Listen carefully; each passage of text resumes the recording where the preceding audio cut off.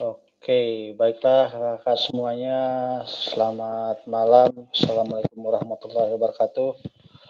Um, seperti biasa, saya minta ke Andi untuk menentukan temannya siapa yang memimpin doa pada malam hari ini.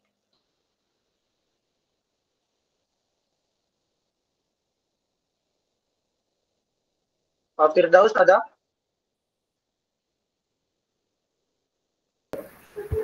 Ada Gani.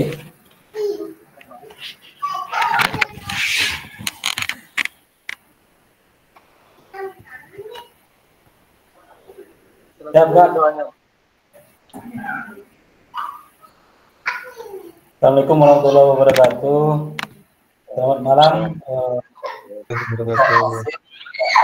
Maulana dan juga teman-teman semuanya. Sebelum kita memulai kegiatan pada malam hari ini, marilah kita berdoa menurut agama dan kepercayaan masing-masing. Berdoa dimulai.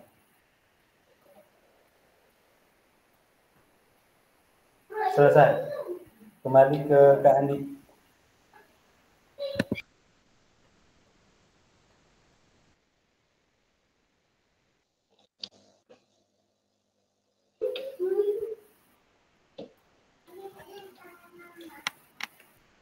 Oke, Kandi. Uh, kita langsung saja ya kakak-kakak, silahkan dibuka mic-nya seperti biasa. Kita bersuara dulu tanda kita masuk ke kegiatan.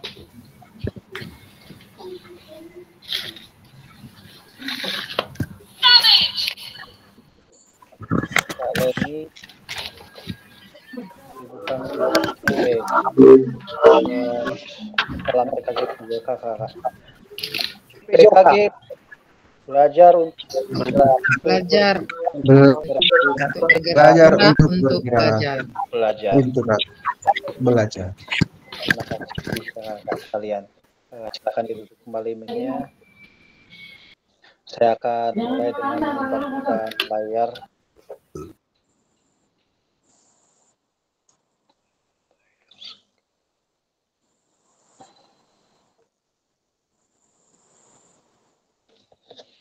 Apakah sudah muncul kakak-kakak? Oke, mulai muncul ya.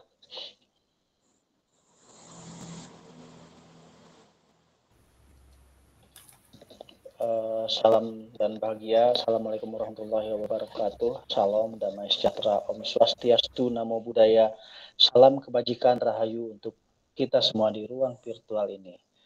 Eh, kesepakatan bersama masih sama setiap pertemuan menyalakan kamera, mematikan mikrofon, hadir seutuhnya, hadir, hadir seutuhnya ini di, saya selalu berhenti di sini agar kita benar-benar masuk dan siap untuk eh, mendapatkan atau mendapatkan sesuatu yang baru pada pertemuan kali ini.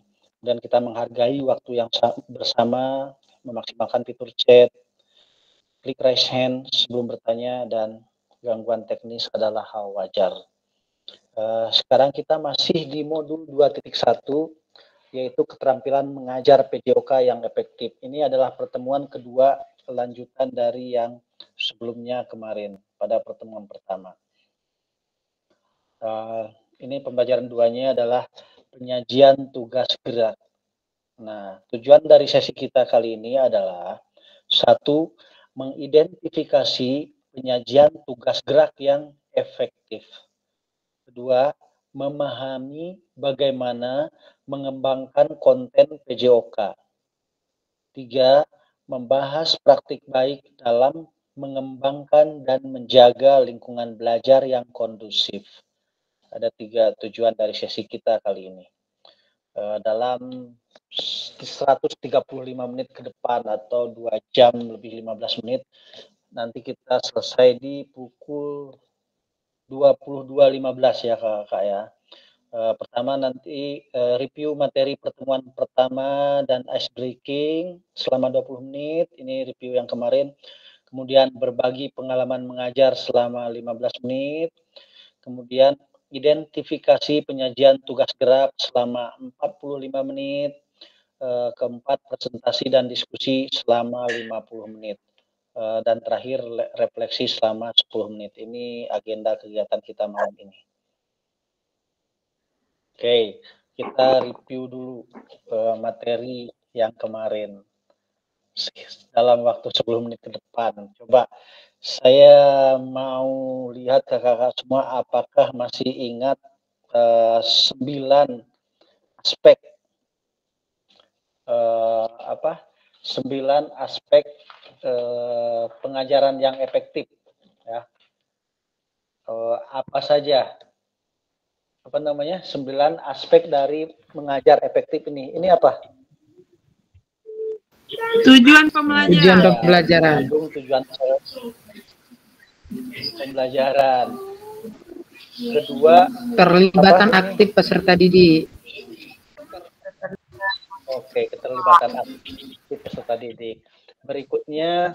Pembelajaran berdiferensiasi. pembelajaran berdiferensiasi empat apa ini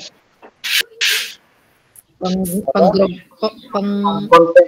peng- peng- progresan dan pentahapan dan pentahapan. pembelajaran. tahapan kelima Ini ini apa kejelasan. Penjelasan dan demonstrasi oh iya. Keterampilan. penjelasan dan ramulan keenam Umpan Apa balik. umpan balik. Ketujuh Komunikasi yang efektif. Komunikasi efektif. komunikasi efektif. Komunikasi efektif. apa ini Penilaian dan evaluasi. Evaluasi. Evaluasi. dan yang terakhir Keselamatan. Keselamatan. Keselamatan. Oke. Apa ya? Apa ya? Sembilan itu ya. Sekarang saya tidak pakai Anda, eh, sembilan aspek mengajar efektif mengandung aspek apa saja? Satu, Tujuan pembelajaran. dua, Keterlibatan aktif peserta didik. didik Pembelajaran Pembelajaran empat, Pemprogresan dan pentahapan pembelajaran. Dan pentahapan. lima, Penjelasan demonstrasi dan keterampilan. enam, Umpan balik. Umpan balik. tujuh, Komunikasi Komunikasi yang efektif. Komunikasi delapan, Penilaian dan Penilaian dan evaluasi. evaluasi. Penilaian dan evaluasi. Keselamatan. Keselamatan. kita lanjut ke empat kriteria ya. Empat kriteria pengalaman belajar. Yang pertama, Berpotensi, Berpotensi. meningkatkan keterampilan motorik siswa. Ya, keterampilan motorik siswa. Yang kedua, Memaksimalkan aktivitas di waktu ya, pembelajaran. Maksimalkan aktivitas. pembelajaran. Yang ketiga, Sesuai dengan level pengalaman Sesuai dengan level pembelajaran peserta didik. pengalaman. Oke, dan yang terakhir, berpotensi Potensi dalam afektif, psikomotorik, dan kognitif. kognitif, Kognitif, afektif, dan psikomotorik. Oke, empat eh, kriteria itu jadi patokan kita. Sembilan aspek dan empat kriteria itu akan selalu menjadi patokan kita ya kakak-kakak semua. Eh, mudah untuk mengingat itu. Kita lanjutkan. Eh, tidak sampai 10 menit. Saya rasa masih ingat semua ya. Oke, kita lanjutkan. Ini ice breaking 10 menit. Kakak coba eh, nama ice breakingnya adalah jangan lupakan yang ketiga. Ada yang pernah ice breaking seperti ini? Jangan lupakan yang ketiga. Namanya, Bentar. Namanya. Ada yang pernah dengar atau bisa mengira-ngira ini akan apa? Jangan lupakan yang ketiga. G Sudah masuk layar saya. Mirip. Oke, ini ya. Uh, ice breaking-nya. Eh, saya mau lihat em, apakah kakak-kakak bisa menjawab yang jawab langsung open open mic saja. Oh, raise hand dulu, raise hand dulu ya. Nama ice breakingnya jangan lupakan yang ketiga. Em, yang pertama sepatu, yang kedua baju, yang ketiga apa? Ada yang bisa jawab? Yang ketiga kaos kaki kak. Oke, betul. Siapa yang barusan jawab Kak Nopri ya? Ya kak. Kak Nopri betul. Oke. Sekarang Kak Nopri nggak boleh jawab ya. Yang lain, Siap, siap, coba. siap. Yang lain, silakan jawab. Yang pertama botol, yang kedua gelas, yang ketiga apa? Selain Minum. Oke. Yang ketiga aqua. ini berat-berat. Air. Air. Yang ketiga dulu aqua. Air. Bentar, baru kalian ini duluan, yang duluan saja. Kalian ini salah, oke? Sendok, sendok, Nopri. Pak. Oke. Kopi. Kak Leni salah. Satu orang saja yang jawab. Kak Leni dan Kak Nopri sudah tidak boleh menjawab. Yang lain ya, boleh menjawab ya. Dengarkan baik-baik. Eh, yang pertama bantal, yang kedua guring, yang ketiga apa? Yang ketiga kasur. Kasur. Siapa barusan yang jawab yang ketiga kasur? Kak Arido. Karido, betul. Karido tidak boleh menjawab lagi. Yang lain. Oke, yang pertama eh, yang botol, yang kedua gelas, yang ketiga apa? Air. Mangkok ketiga. Piring-piring. Siapa yang jawab air? Air. Kak Ferdi Ikhwan. salah. Yang jawab air barusan salah. Oke. Sendok, sendok. Yang Aku belum jawab, Kak. Boleh jawab, jawab nggak boleh jawab lagi. Aku belum jawab. Oh, Ferdi belum. Yang jawab air tadi siapa? Kak Juanda ya? Kak Juanda salah. Ma- Saya. Lagi. Saya yang ketiga Yang mangkok. kabel, yang kedua tiga apa? Ketiga kulkas. Antena. Siapa? Set top box. Receiver, Pak. Salah.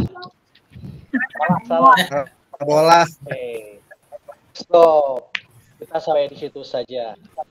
Em, saya mau tanya tadi yang jawab betul, silahkan saya dulu tadi jawab betul. Dan tadi jawab betul ada Kak Nopri tadi ya, Kak Rido. Apa yang bikin Kak Nopri betul jawabannya? Karena wajib menggunakan kata yang ketiga. Jadi apa pun jawabannya, yang penting disebutkan yang ketiganya dulu. Walaupun nggak nyambung. Ya. Ya, betul betul. Jadi itu ya, jangan lupakan yang ketiga. Oke. Paham sekarang. Ketika Anda menjawab batu, air itu salah. Tapi ketika Anda menjawab yang ketiga batu, yang ketiga air itu betul. Oke. Nah, Oh alah. Oke, hubungannya dengan materi kita hari ini kita lihat. kita lihat apa hubungannya dengan materi kita hari ini, kakak-kakak sekalian. Bentar. Eh, ini setiap orang membutuhkan waktu dan penyajian informasi yang jelas dalam mencerna sebuah informasi. Apabila seorang guru memberikan informasi yang tidak lengkap secara konseptual, maka berpotensi menyebabkan audiens atau siswa kesulitan dalam memahami materi apa yang diajarkan oleh gurunya. Dan ya, ini ada kaitannya dengan materi hari ini seperti yang saya sampaikan tadi. Uh, ice breaking jangan lupakan yang ketiga ini kaitannya adalah eh, tentang konsep, kelengkapan konsep, pemahaman konsep. Ketika anak kita tidak memahami eh, secara lengkap, tidak lengkap pemahaman konseptualnya, maka akan berbeda-beda persepsinya. Seperti kita tadi, saya jawab ini salah, jawab ini salah. Oh, tapi kalau yang tahu kayak Kak Nopri kan langsung tahu itu. Makanya eh, apa perlunya kita eh, melakukan metode yang efektif gitu kakak-kakak. Nah, sekarang kita coba eh, kakak-kakak berbagi pengalamannya dalam waktu 15 menit ke depan.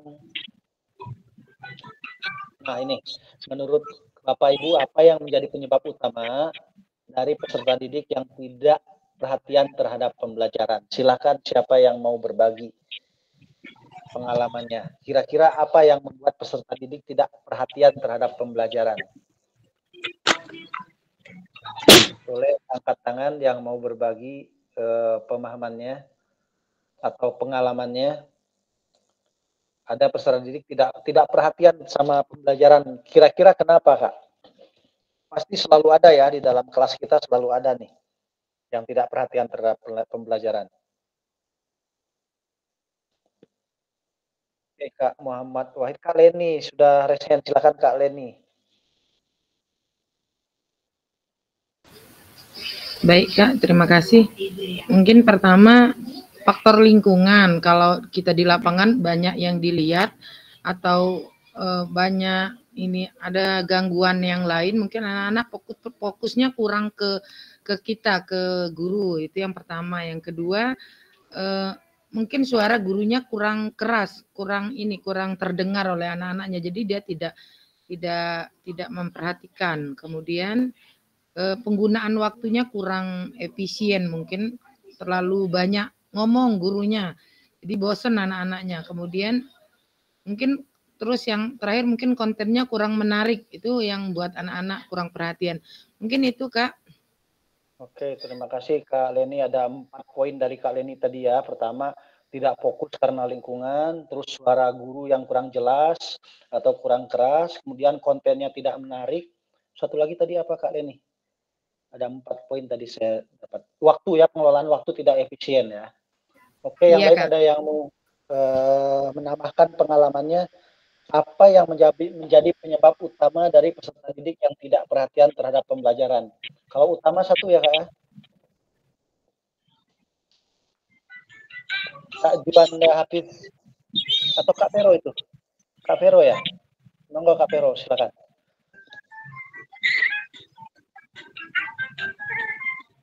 Kak Juanda tuh Kak, bukan saya Pak. Maaf Kak. Oh, oh iya ya, oke Kak Hafiz, Kak Hafiz, Nah. sorry. Juanda Hafiz ya. Iya. Ini wajahnya. Silakan Kak Hafiz. Eh, baik. Halo semuanya, kakak-kakak. Eh, pengalaman saya untuk men- yang menjadi penyebab utama dari peserta didik yang tidak perhatian terhadap pembelajaran pertama media kan. Bisa jadi itu banyak terlalu banyaknya media. Ketika di lapangan contohnya ada bola ada kun atau bahkan media-media yang menarik. Seperti kemarin eh, saya melakukan materi lari jarak pendek menggunakan start block. Itu baru pertama kalinya menggunakan start block. Jadi peserta didik terlalu fokus ya. kemudian yang kedua eh, seperti kata Kak Leni tadi ini apa materi yang membosankan atau guru kurang memahami eh, dalam materi tersebut itu kak pengalaman saya kak terima kasih, kasih ya. kak Memang. Jadi media salah satunya media tidak menarik ya tambahan dari Kak Leni tadi medianya tidak menarik dan guru tidak eh, memahami atau guru tidak menguasai eh, materi yang diberikan. Oke, tadi Kak Ari ya Iya. sudah angkat tangan tadi Kak Ari silakan.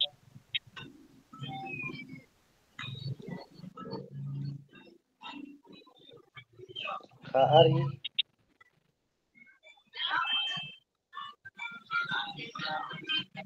Kak Ulfa duluan deh, Kak Arinya menghilang dulu. Kak Ulfa, silakan. Terima kasih kesempatan yang diberikan. Kalau untuk problem di sekolah saya berdasarkan pengalaman, pertama kurangnya perhatian orang tua terhadap emosional atau psikisnya dari peserta didik, sehingga dibawanya eh, dibawanya emosi atau emosi atau problem dari rumah ke sekolah. Karena kalau di sekolah saya orang tua di sana sibuk berkebun ya kenapa? Berkebun sawit. Jadi anak-anak ya kurang peduli lah terhadap anak yang tadi. Yang kedua kurangnya percaya diri peserta didik tadi terhadap fisiknya. Ada sebagian di sekolah siswa yang apa tubuhnya tuh agak sedikit gemuk sehingga ketika dia ma- ma- ingin melakukan olahraga dia kurang percaya diri. Sepertinya saya lebih fokus ke problem di rumah dibawa ke sekolah Pak itu aja. Oh, iya iya iya. Jadi apa mas permasalahan di rumah dibawa ke sekolah gitu kak ya? Oleh siswa Iya. kak ya kak Ulfa ya? Siswanya ya? Iya oleh siswa. Oke itu. Eh, masih ada kak Redi, silakan kak Redi. Baik Kak eh, Maulana, terima kasih atas kesempatan yang diberikan. Eh, kalau menurut saya ya Kak, eh, penyebab utama kenapa peserta didik itu tidak perhatian terhadap pembelajaran yang paling utama menurut saya itu eh, adalah kemampuan pedagogis gurunya. Jadi di sini eh, kompetensi pedagogi guru itu sangat berpengaruh menurut saya terhadap eh, pembelajaran itu sendiri. Baik dari mana eh, guru itu mampu untuk mengorganisir kelasnya, eh, mampu melihat apa yang menjadi sebab-sebab baik dari eh, diri peserta didik ataupun dari lingkungan di sekitarnya, kemudian juga eh, kemampuan komunikasi gurunya kepada muridnya itu sendiri. Seperti itu Kak, menurut saya eh, penyebab utamanya adalah kemampuan pedagogis guru itu sendiri Kak. Terima kasih Kak. Kompetensi gurunya yang lemah kak Redi ya, sehingga eh, perhatian siswa terhadap pembelajaran menjadi kurang gitu menurut kak Redi ya. Oke, next kak Ferdi, silakan kak Ferdi. Eh, terima kasih Kak Maulana. Eh, kalau menurut saya yang dikatakan oleh Kak Redi tadi sudah sudah eh, tepat, tapi saya menambahkan eh, kalau untuk eh, menjadi penyebab utama didik yang tidak perhatian terhadap pembelajaran, salah satunya adalah eh, motivasi siswa, Kak. Jadi kalau motivasi siswa dari awal saja dia sudah tidak suka atau tidak eh, kurang senang dengan pelajaran tersebut, ya seterusnya eh, akan membuat eh, peserta didik tersebut tidak menyukai pelajaran tersebut. Nah, maka dari itu tugas kita sebagai guru bagaimana cara mengubah motivasi siswa tersebut agar mereka bersemangat dalam menghadapi pembelajaran yang akan kita berikan. Itulah tugasnya tadi yang dikatakan oleh Karedi, kemampuan peda- pedagogi gurunya. Itu saja Kak Maulana. Terima kasih. Oke, terima kasih motivasi siswa ya Kak Ferdi. Eh, Lanjut Kak Susilo, Kak Andi nanti belum Kak Andi ya, Kak Susilo dulu. Oke, Assalamualaikum warahmatullahi wabarakatuh. Sudah baik untuk tanggapan dari teman-teman, hanya menambahkan sedikit. Kalau dari saya, biasanya anak-anak itu berhubung sekolah kami itu Kak Maulana ma- menggunakan gadget, jadi anak-anak itu fokus ke gamenya Kak Maulana. Jadi dia candu game hingga pas pembelajaran nggak fokus terhadap materi yang diajarkan, fokusnya main game sesama temannya. Terima kasih Kak Maulana itu kalau dari SMP kami. Ya, tidak bisa fokus ya siswanya tidak bisa fokus ke pembelajaran ya. Kak Andi, silakan Kak Andi. Siap. Terima kasih Kak Maulana. Eh, semuanya sudah mencakup eh, faktor-faktor yang mempengaruhi eh, menjadi penyebab peserta didik menjadi tidak memperhatikan pembelajaran. Eh, yang pertama, menurut saya itu metode pembelajaran. Eh, metode pengajaran monoton, tidak eh, tidak interaktif, membuat peserta didik mudah bosan. Terus yang kedua, yang tadi sudah disebutkan oleh teman-teman, yaitu motivasi. Karena motivasi itu kan sangat penting juga dalam membuat uh, peserta didik menjadi aktif dalam pembelajaran. Yang ketiga, kondisi pri- pribadi. Contohnya tadi uh, disebutkan oleh uh, Kak Ulfa. Uh, kondisi pribadi itu ada masalah di rumah, kemudian kesehatan, emosional, ya itu salah satu yang mengganggu fokus peserta didik terhadap pembelajaran. Yang keempat, gaya belajar. Karena setiap individu itu, individu itu memiliki gaya belajar yang berbeda-beda menurut saya. jika gaya belajarnya uh, sama semuanya, mungkin uh, itu menjadi salah satu yang tidak cocok membuat uh, peserta didik uh, tidak aktif uh, dalam pembelajaran. Yang kelima, kurangnya keterlibatan karena antara siswa dan guru itu harus uh, terlibat aktif dalam proses pembelajaran karena dapat membuat mereka merasa termotivasi dalam proses pembelajaran. Yang keenam, kualitas pengajaran itu contohnya di guru, kemampuan guru dalam menyajikan suatu materi uh, yang akan diberikan dalam proses pembelajaran ke peserta didik. Uh, ada teknologi, tadi teknologi ada plus minusnya. Minusnya dia menggunakan tidak sesuai pembelajaran. Nanti teknologi apabila digunakan sesuai pembelajaran, uh, contohnya guru melibatkan teknologi karena uh, kodrat zaman, karena zaman sekarang teknologi tidak bisa ditinggalkan, guru memakai teknologi itu seperti fokus, laptop, kemudian menayangkan materi-materi secara menarik. Karena terkhusus sekolah SD, apabila kita menyajikan uh, melalui teknologi, kita ada materi di dalam, melibatkan gambar-gambar, kemudian uh, media yang bergerak, warna-warni, ada sound systemnya, ada suaranya, nah, itu menjadi aktif anak-anak uh, terfokus dalam proses pembelajaran. Nah, yang terakhir menurut saya itu konteks sosial di lingkungan sekitar, teman sebaya, kemudian norma-norma yang di sekitar yang uh, lagi lagi gandrungnya itu bisa mempengaruhi beberapa banyak perhatian. Tentunya uh, di lingkungan sekitar lagi aktifnya main gadget, uh, Mobile Legend. Nah, itu salah satu yang mempengaruhi uh, konsentrasi peserta didik. Itu mungkin dari saya Pak Melana menambahkan. Ya, super sekali Kak Andi sudah dirangkum semua sama Kak Andi. Semua jawaban kakak-kakak sebelumnya dirangkum oleh Kak Andi.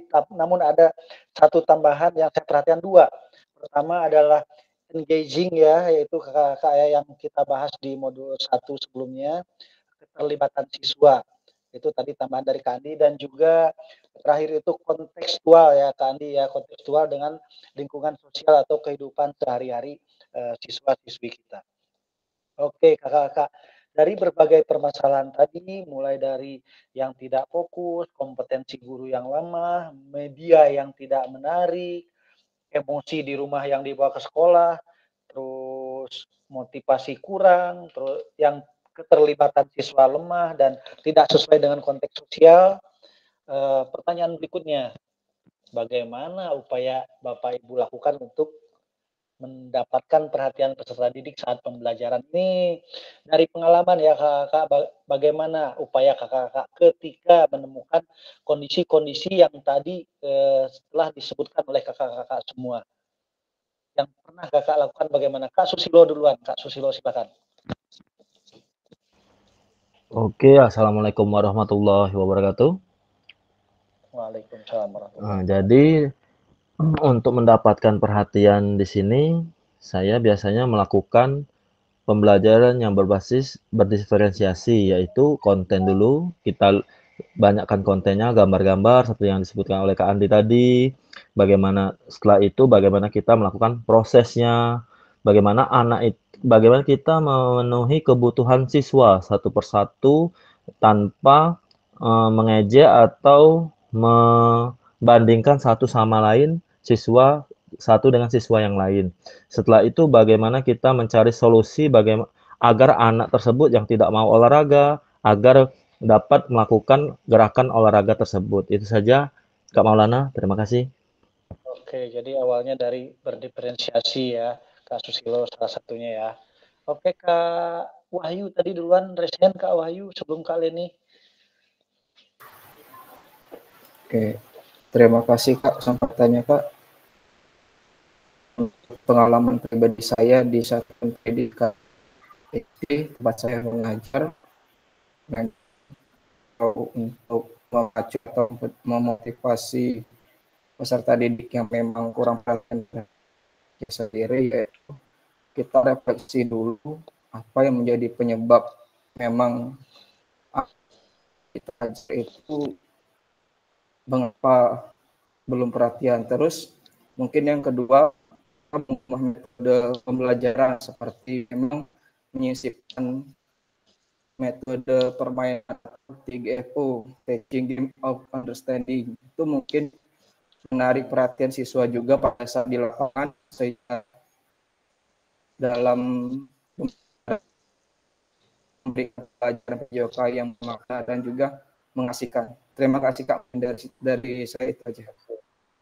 Oke, terima kasih Kak Wahyu. Uh, Kak Wahyu dengan berbagai metode ya, salah satunya dengan TGFU ya, Teaching Game for Understanding. Kak Wahyu coba uh, itu pengalamannya cukup menarik. Kak Wahyu lanjut, Kak Leni boleh berbagi pengalamannya Kak.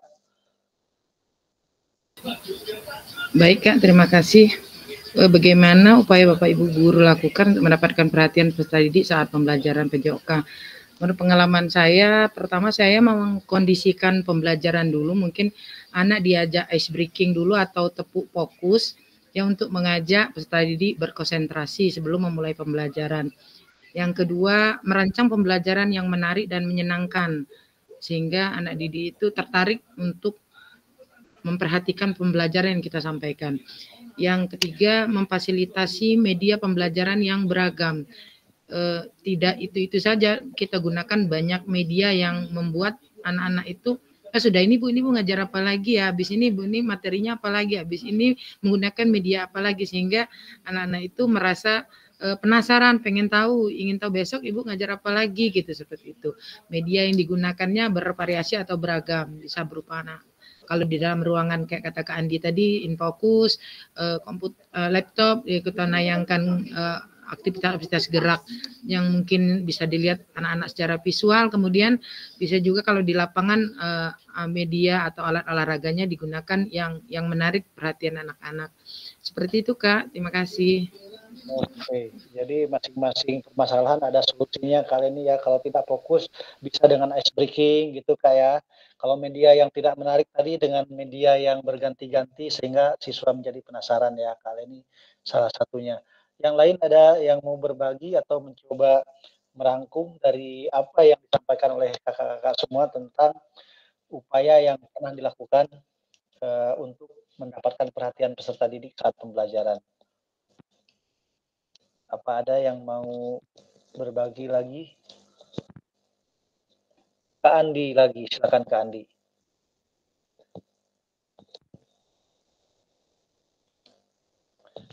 Kak Andi. Uh, Oke, terima kasih Kak Mulana. Uh, semua jawaban dari teman yang menarik.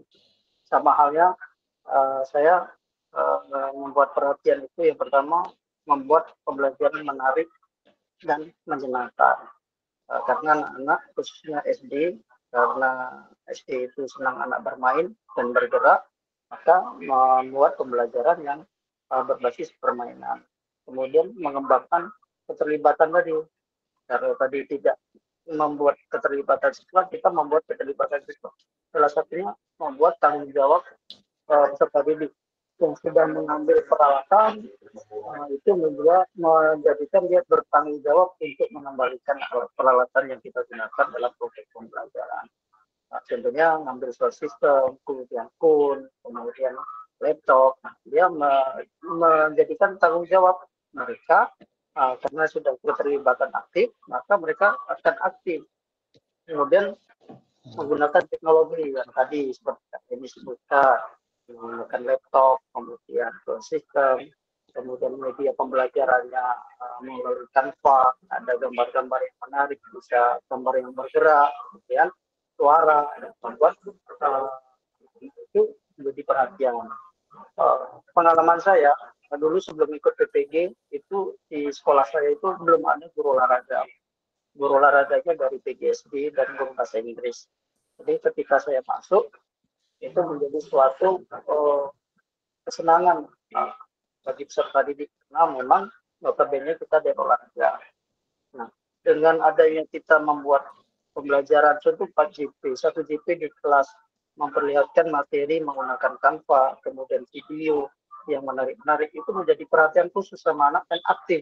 Sedangkan nanti kita memberikan tanggung jawab untuk gerakan yang sudah kita tonton kita kita terapkan di lapangan. Nah, itu menumbuh anak menjadi senang. Kemudian uh, speaking, speaking menggunakan yang sekarang kan banyak speaking uh, pakai uh, system kita pakai system itu kemudian memberi umpan balik uh, terhadap peserta didik atau motivasi kemudian uh, membuat lingkungan pembelajaran yang mendukung uh, terakhir uh, motivasi dan teladan menjadi positif kita jadikan teladan dia yang menjadi positif di dunia kenyataan di lingkungan yang uh, sesungguhnya. Kak Maulana, terima kasih. Oke, terima kasih Kak Andi ya. Kak Ulpa, gimana Kak Ulpa? Baik, kalau menurut saya berdasarkan pengalaman saya mengajar di daerah pelosok, itu saya mengalami uh, sebelum saya mengajar, saya mendiagnosa awal dulu, melihat melihat uh, bagaimana kondisi siswa itu baik dari dari fisik dari fisik, psikis, emosionalnya. Ternyata ada beberapa uh, satu cewek yang sepertinya itu kayak bad mood, uh, mad, kayak bad mood sehingga uh, saya uh, lakukan pendekatan secara personal uh, dan di, saya korek-korek ya, saya menjadikan diri saya sebagai teman dan di sini peran guru olahraga bukan hanya mengajar mengajar saja seperti uh, perannya seperti guru BK juga memulihkan emosional agar anak itu fokus saat kita mengajar Uh, ternyata pas saya selidik-selidiki uh, sambil belajar itu ternyata di rumah ada kasus perceraian orang kedua orang tua di situ kita harus memotivasi. Terkadang di situ anak ingin berhenti sekolah karena masalah yang di rumah. Yang di situ kita harus menjadi guru sebagai guru BK. Itu berperan kuat agar dia tuh termotivasi untuk sekolah. Terus dilanjutkan kita memodifikasi permainan agar anak-anak tadi eh, fokus terhadap pembelajaran kita dan tidak bosan terhadap pembelajaran kita. Jangan langsung ke fokus ke konten langsung ke intinya saja. Eh, setelah dari permainan modifikasi dimasukkanlah pembelajaran yang permainan tradisional tadi dilanjutkan dengan fokus ke konten tadi yaitu pembelajaran inti dan dilanjutkan dengan refleksi. Terus anak-anak yang secara emosional tadi itu sepertinya terganggu itu setelah pembelajaran PJOK saya ajak ke ruangan saya, saya pulihkan ya Pak ya, saya pulihkan seperti guru BK. Saya ajak guru BK juga saya terlibatkan, termasuk saya juga sepertinya agak ada masalah kan, maka saya bantulah kayak itu Pak. Jadi untuk minggu depannya anak-anak itu ternyata fitnya lebih baik lagi. Jadi mungkin agak terbantulah dengan kita motivasi kondisi orang tua di rumah dan kita panggil juga orang tuanya di rumah eh, melalui guru BK tadi Pak. Jadi peran guru BK dan peran guru olahraga tuh berkolaborasi. Itu saja Pak. Oke, terima kasih uh, Kak Ulfa, super sekali ini pengalamannya. Uh, dua poin yang saya perhatikan di sini pertama adalah uh, memberikan perhatian personal ya kepada siswa yang ada masalah emosi, uh, terutama yang emosinya di luar lingkungan sekolah. Jadi perlu pendekatan personal. Yang kedua kolaborasi tentu saja tadi disebutkan oleh Kak Ulfa kolaborasi dengan guru BK dan juga dengan orang tua tentunya Kak Ulfa ya. Oke, Kak Indra terakhir nih untuk yang pengalaman untuk mendapatkan pelatihan peserta didik. Baik, uh, Assalamualaikum warahmatullahi wabarakatuh. Selamat malam, uh, Kak. Uh, sedikit uh, menambahkan nih berdasarkan dari apa pengalaman dan apa yang pernah dilihat uh, untuk proses pembelajaran. Uh, menurut pendapat saya, uh, ketika apa upaya yang perlu dilakukan uh, oleh seorang guru, ya, ketika untuk uh, mengatasi permasalahan-permasalahan uh, untuk uh, mendapat perhatian peserta didik atau siswa. Yang pertama menurut saya guru harus punya wibawa. Wibawa di sini bagaimana kita bisa memberikan contoh dan juga baik itu dari kepribadian sehari-hari kita, terus juga bagaimana kita dalam kompetensi keterampilan dan pengetahuan kita karena kalau kita sudah tidak ada uh, wibawa di mata siswa, uh, kita mau menyampaikan seperti apa, uh, siswa pun acuh seperti itu. Jadi ini perlu kita bagaimana kita memposisikan kita di kelas, ketika kita berada di luar itu kita uh, punya batasan-batasan kalau menurut saya itu harus dipertigas uh, ketika kita di uh, sekolah karena kadang-kala kalau tidak seperti itu uh, siswa kadang menganggap kita ya seperti teman atau di luar seperti apa kita ya punya uh, bagaimana kita uh, pendekatan kita ketika mengajar dan seperti itu harus punya wibawa menurut saya. Dan juga wibawa dalam mengajar menurut saya suatu keterampilan. Kalau kita tidak benar-benar menguasai materi apalagi misalkan di jenjang SMA menurut saya uh, power kita saat mengajar itu sangat-sangat terbatas apalagi uh, di di mata siswa ketika ada berapa uh, siswa yang memang ketika kita bisa mendemonstrasikan setidaknya berapa gerakan yang itu bisa ditampilkan dengan baik menurut saya itu akan menambah wibawa kita di mata peserta didik. Walaupun dalam uh, kita juga harus melibatkan uh, banyak didik untuk aktif. Tidak sepenuhnya kita yang terus melakukan. Kedua menurut saya komunikasi ya bahasa yang kita gunakan memang dipahami oleh peserta didik. Jangan sampai dengan bahasa-bahasa mungkin kita yang sekalian di uh, guru olahraga yang menggunakan bahasa-bahasa yang kurang dipahami oleh peserta didik. Misalkan dalam bahasa uh, PO to make atau bahasa-bahasa seperti itu. Ya bagaimana kita menyederhanakan bahasa-bahasa yang memang mudah dipahami oleh peserta didik kita atau siswa sehingga uh, tujuan yang kita sampaikan benar-benar tercapai. Ketiga, uh, menurut saya pengorganisasian kelas.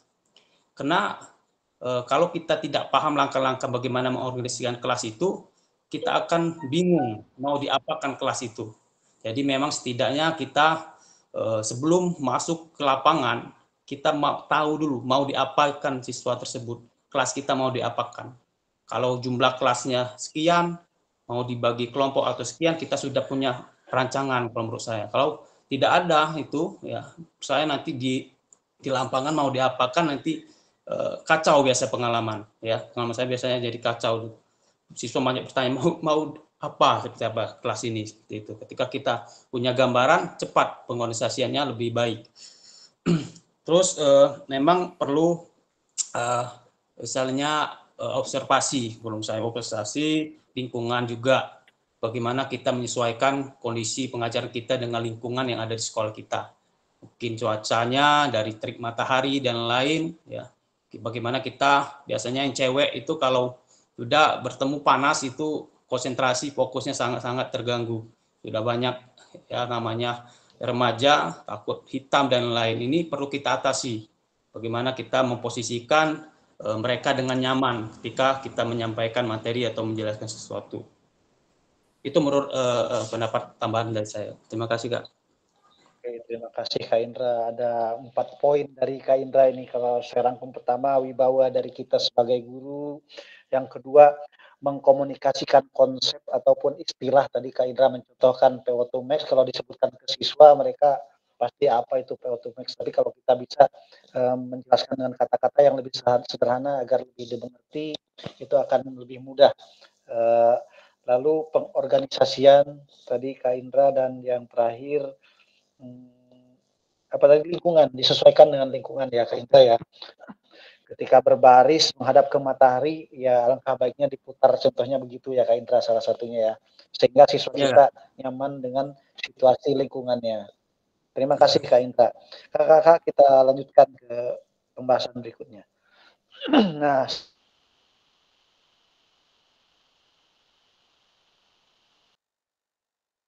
sekarang kita akan melakukan identifikasi penyajian tugas gerak dalam 45 menit dibagi menjadi tiga kelompok.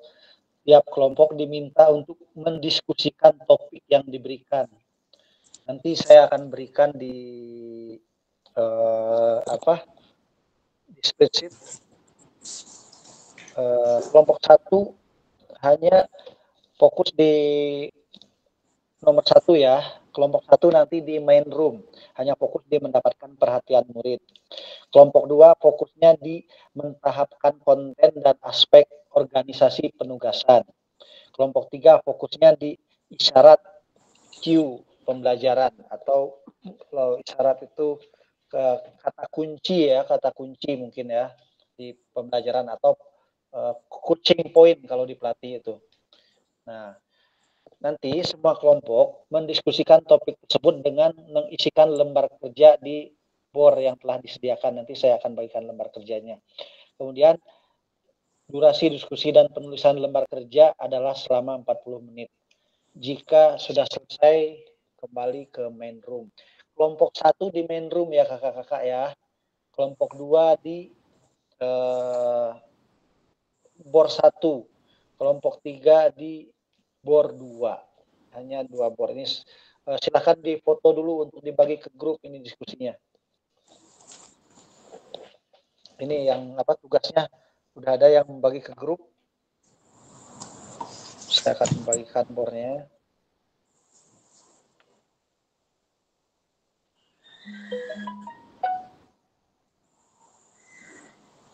Tunggu sebentar.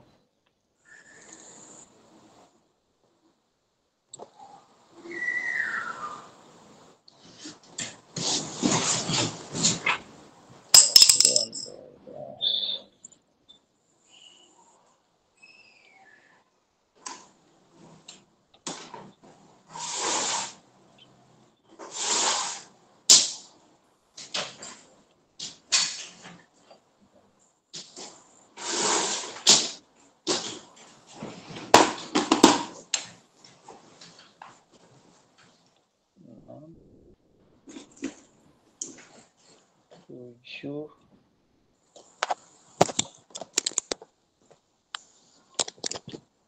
dua tiga empat lima enam Oke, kelompok satu di main room, kelompok dua di bor dua, kelompok tiga di bor tiga, bor dua. Eh, kelompok dua di bor satu, kelompok tiga di bor dua. Silakan masuk ke. Tugasnya akan saya bagi di ini ya di grup WA.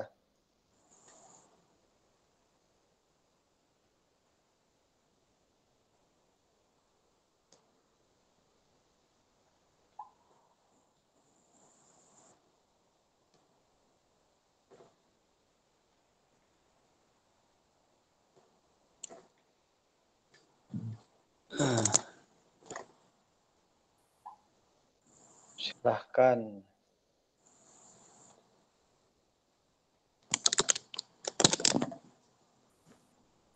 Loh. Oh, belum masuk ya, belum masuk ke room semuanya ya.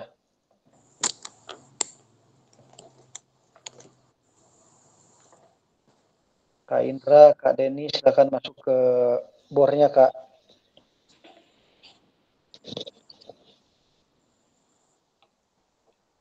Kak Denny, Kak Indra, silakan masuk ke bornya.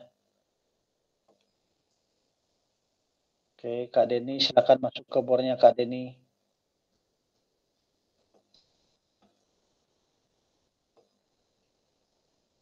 Kak Denny. Masuk ke bornya Kak Denny. Oke, sip. Ini Kak Ari, Kak Firdaus, Kak Hafiz, Kak Vero, Kak Wahid, dan Kak Redi di bor satu, eh di main room. Kelompok satu sudah bisa memulai diskusinya.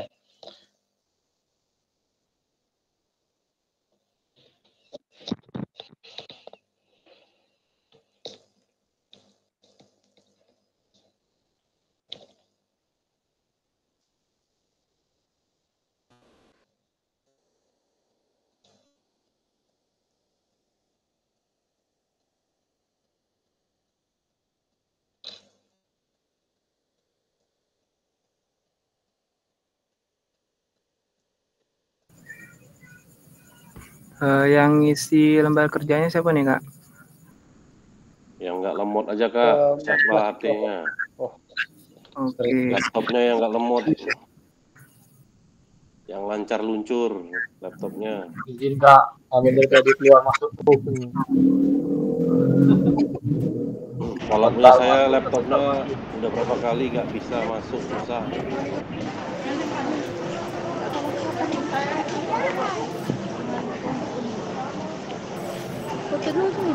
iya. nah itu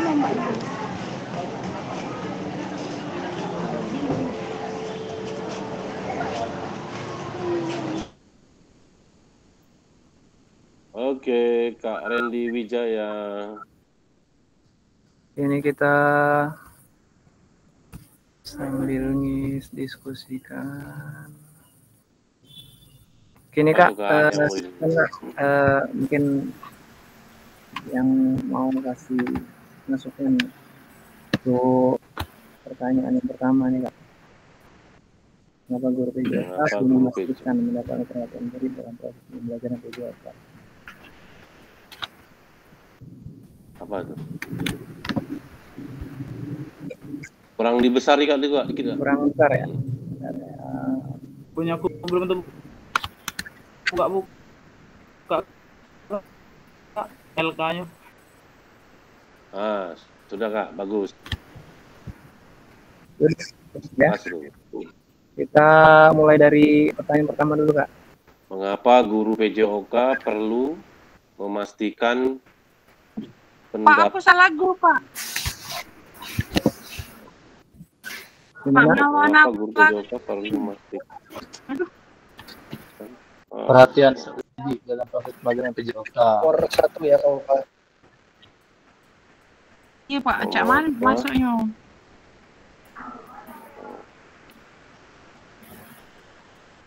mendapatkan perhatian peserta didik dalam proses pembelajaran PJOK.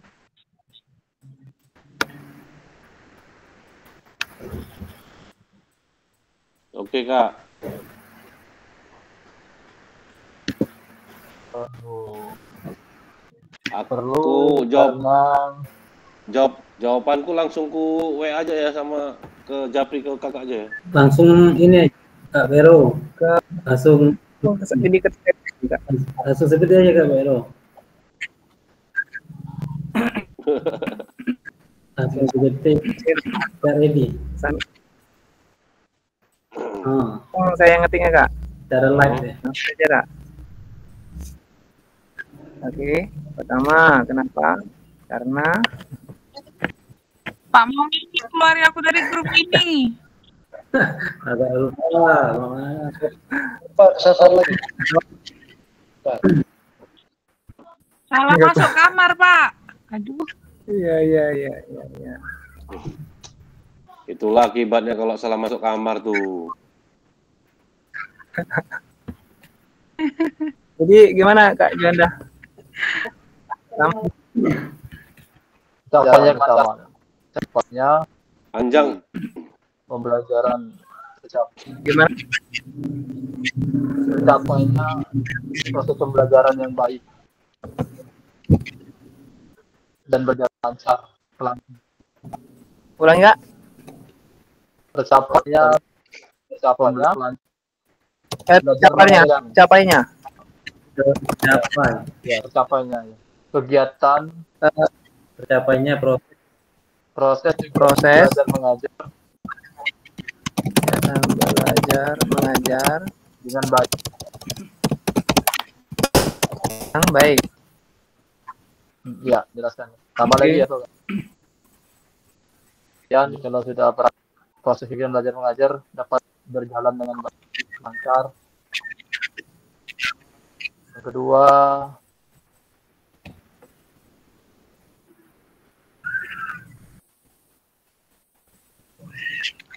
mampu mengkoordinir kelas dengan baik.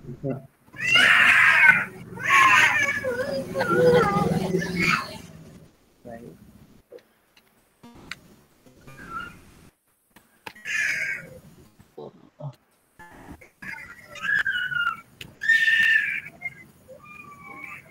Untuk tercapainya tujuan pembelajaran. Pembe- diharapkan. Pembelajaran yang disusun atau yang diharapkan. Oke. Atau memuaskan. Ya, kegiatan belajar baik sudah dapat tujuan pembelajaran ya sudah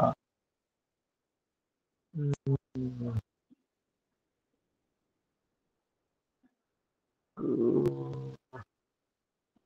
Bertujuan untuk mengembangkan kesehatan fisik dan mental siswa.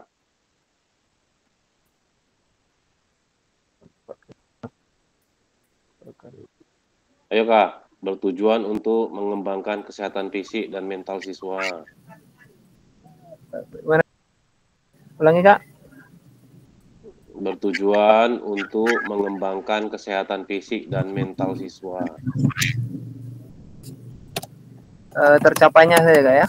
Tercapainya pengembangan Kesehatan fisik dan mental siswa. kesehatan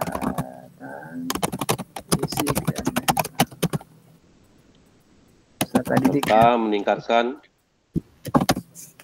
serta meningkatkan keterampilan sosial.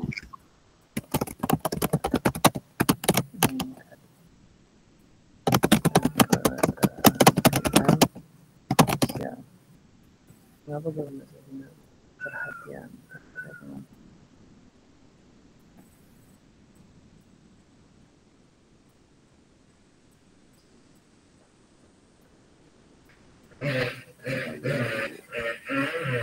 Ini ada ada dua nih kak, ada dua pertanyaan. Cukup gua rasa. Pertanyaan keduanya, bagaimana cara mendapatkan perhatian peserta didik yang efektif? menyusun rencana pembelajaran. Strategi pembelajaran. Bagaimana cara mendapatkan peserta didik yang efektif untuk diterapkan di kelas? Rencanaan strategi pembelajaran yang menarik bagi siswa. Menyusun perencanaan pembelajaran, Perencanaan strategi pembelajaran Itu yang jawab. menarik bagi siswa. ulang-ulang kak, ulangi kak. Menyusun perencanaan pembelajaran. Menyusun rencana pembelajaran dan menyiapkan strategi pembelajaran yang menarik Bagi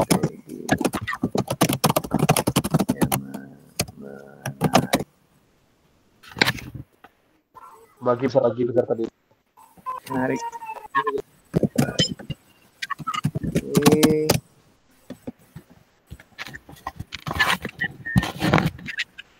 Nah, nanti jelas masuk materi menjelaskan permainan itu belum.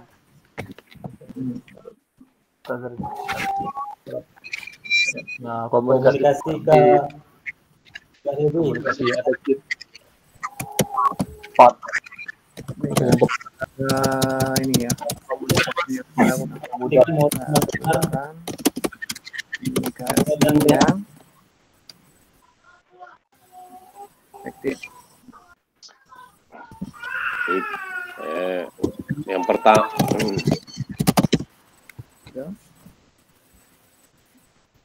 itu juga dengan waktu Kak. Gimana kak? Itu benar itu benar. Penggunaan efektif. Nah, terus eh, penggunaan waktu. kan perhatian. Hmm. yang efisien. Ini guna penggunaan.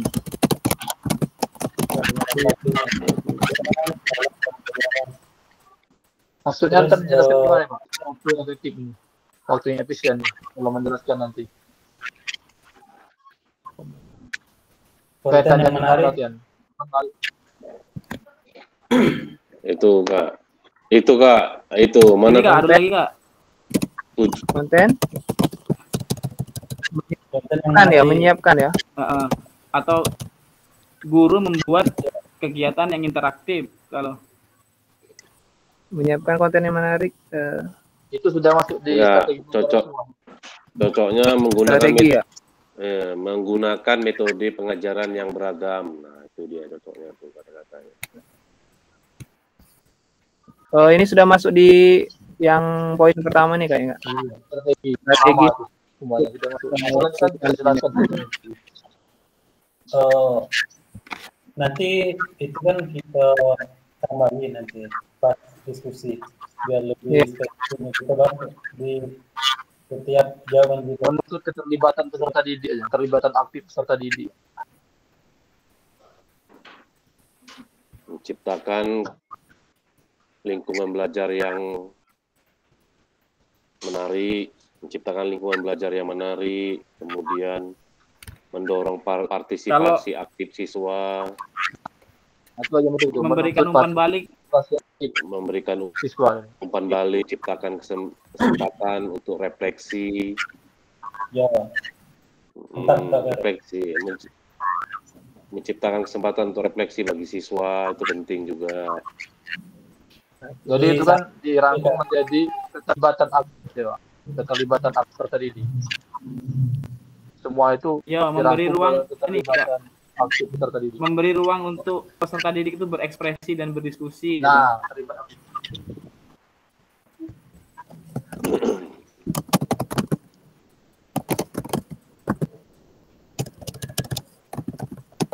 memberikan kesempatan memberi kesempatan didik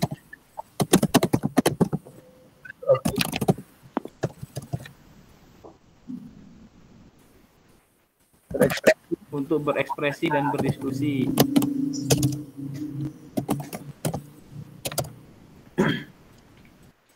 ditambahkan eh, dengan pembelajaran yang menarik eh, dengan adanya atau Bebas.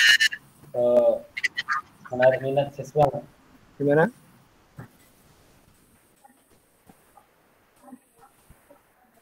Kalau ditambahkan Kak Robi eh, konten pembelajaran yang menarik siswa Gimana kak?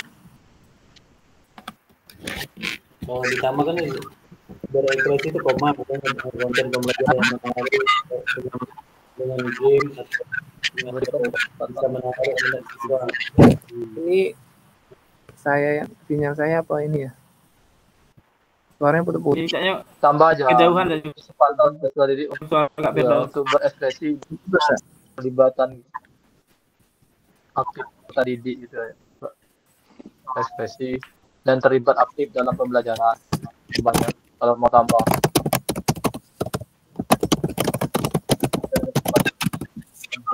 Terlibat aktif dalam pembelajaran di kelas. Oke. Cukup. cukup. Strategi pembelajaran yang dengan komunikasi efektif penggunaan yang efisien Jangan lupa tujuan yang jelas kak dibuat tujuan belajar yang jelas. Belajar. Ya tujuan pembelajaran yang jelas.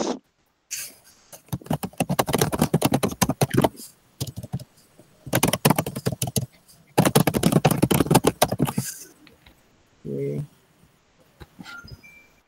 Me- memberikan tantangan peserta didik memberikan tantangan yang sesuai dengan kemampuan peserta. biar di, biar peserta didik tuh merasa termotivasi gitu, Kak. Kalimatnya kak. Memberi. Eh, memberikan tantangan yang sesuai dengan tingkat kemampuan peserta didik.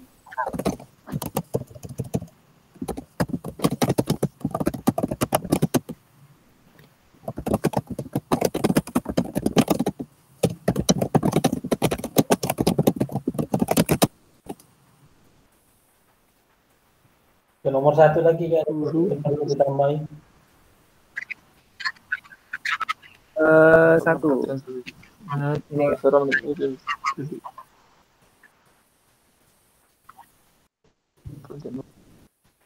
menyusun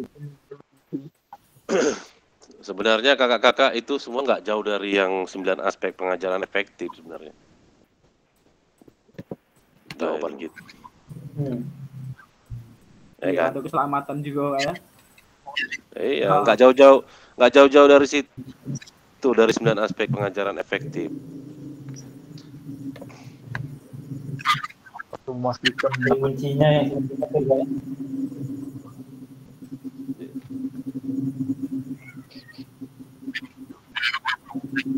mengapa guru suka memastikan nah itu berarti terbukti terkait dengan asesmennya itu kak. Evaluasi dan asesmen nomor satu itu yang kurang berarti. Tinggal kalimatnya aja.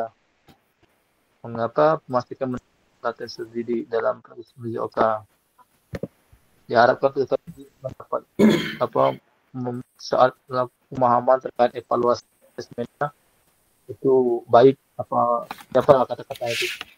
Nomor satu itu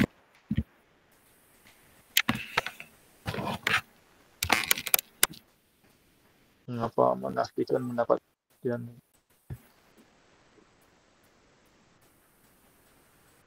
eh, tercapainya asesmen atau kriteria yang ditentukan oleh guru.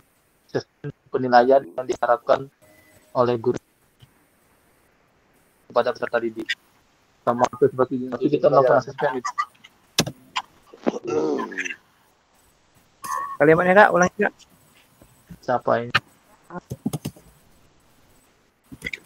tercapai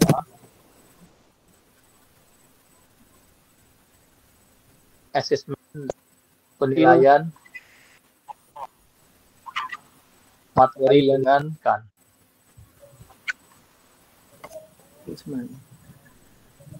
kira-kira itu mungkin. Kira-kira garis besar yang perlu dipastikan mendapat perhatian sebagai di penilaian. Hasil asesmen tercapainya yang disusun dalam proses pembelajaran.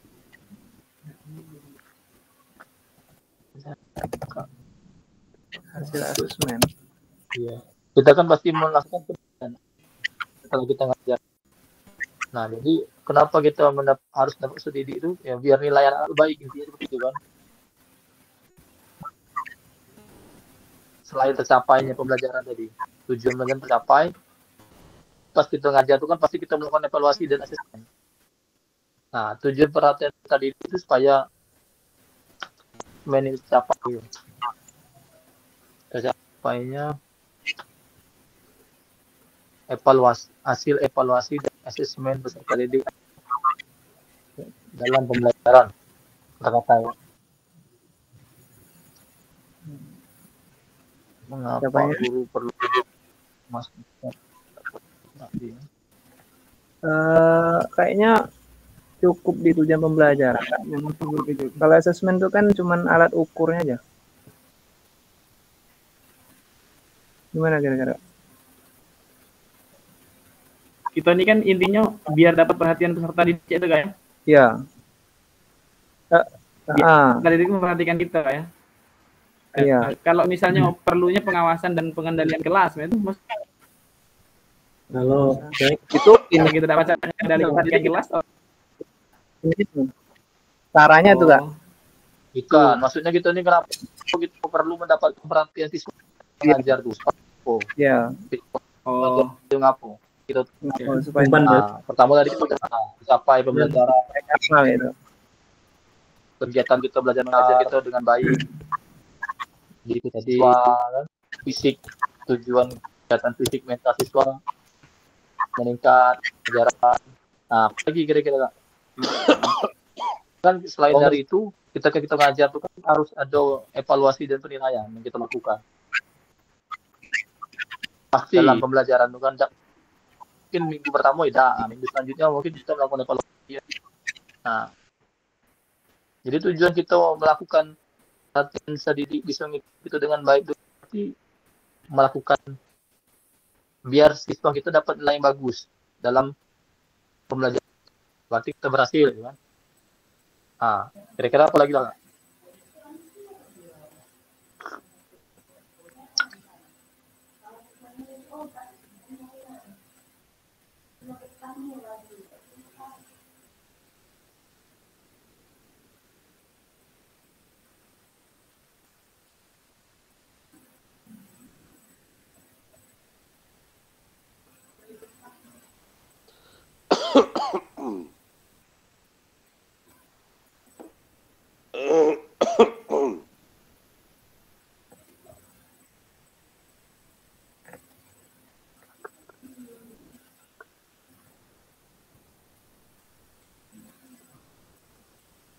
Bisa ditambahkan memudahkan komunikasi baik tadi enggak? Komunikasi interaktif. Kalau kita berhadapan, kita komunikasi kita dengan semua mungkin? Kalau melihat seperti di bawah tadi.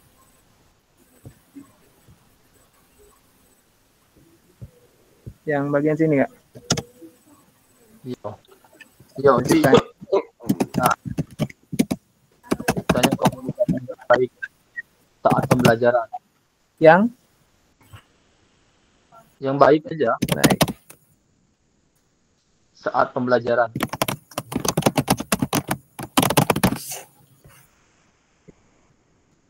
Maksudnya nyambung nggak gitu ngomong apa diperhatikan nanti kan seperti itu.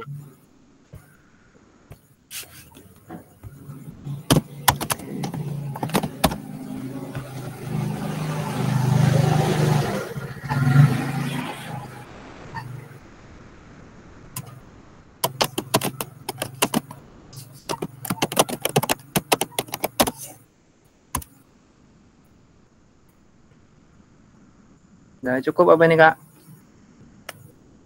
Yang lain?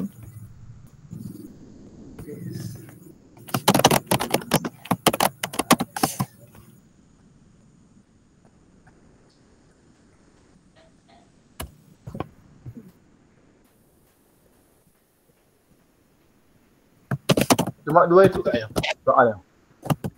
Ah, cuma dua. Ya, nanti kalau ada lagi kita tambah.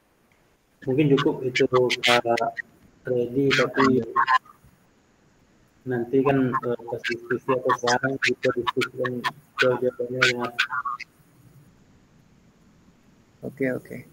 bisa eh, kita diskusikan lagi sebelum kita lempar ke diskusi nanti kan ya biar Ya, seperti yang strategi pembelajaran tadi kan mungkin banyak nanti. Ada media Ah. dan sebagainya. Jelaskan. Iya. Iya. biar kita nanti saling kuat ke di eh, diskusi Nah. biar sinkron eh, kelompok kita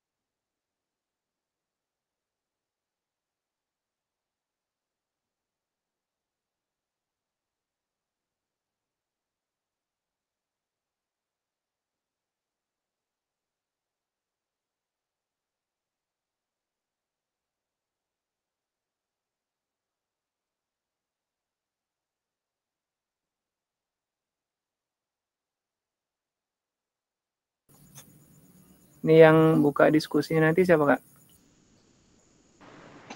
Sama yang pemasarannya. Aku aku jadi kak, cuman bantu share screen ya. Oke siap siap. Untuk sekaligus ini ya, maparin ya. Apa? Untuk pemaparannya. Apa kak? Untuk pemaparan. Iya. Oke. Ah. Laptopku lemotnya nggak kalau udah bisa gitu. Oke siap siap.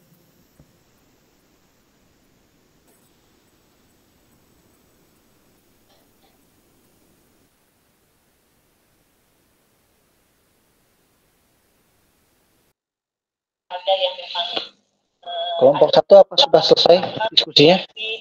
Biar kita kalau selesai lebih awal tidak apa-apa, biar kita lebih lama diskusinya eh, apa? Presentasi nanti. Ya siap nih kak. Oh, udah siap ya? Ntar saya cek kelompok yang lain dulu ya. siap kak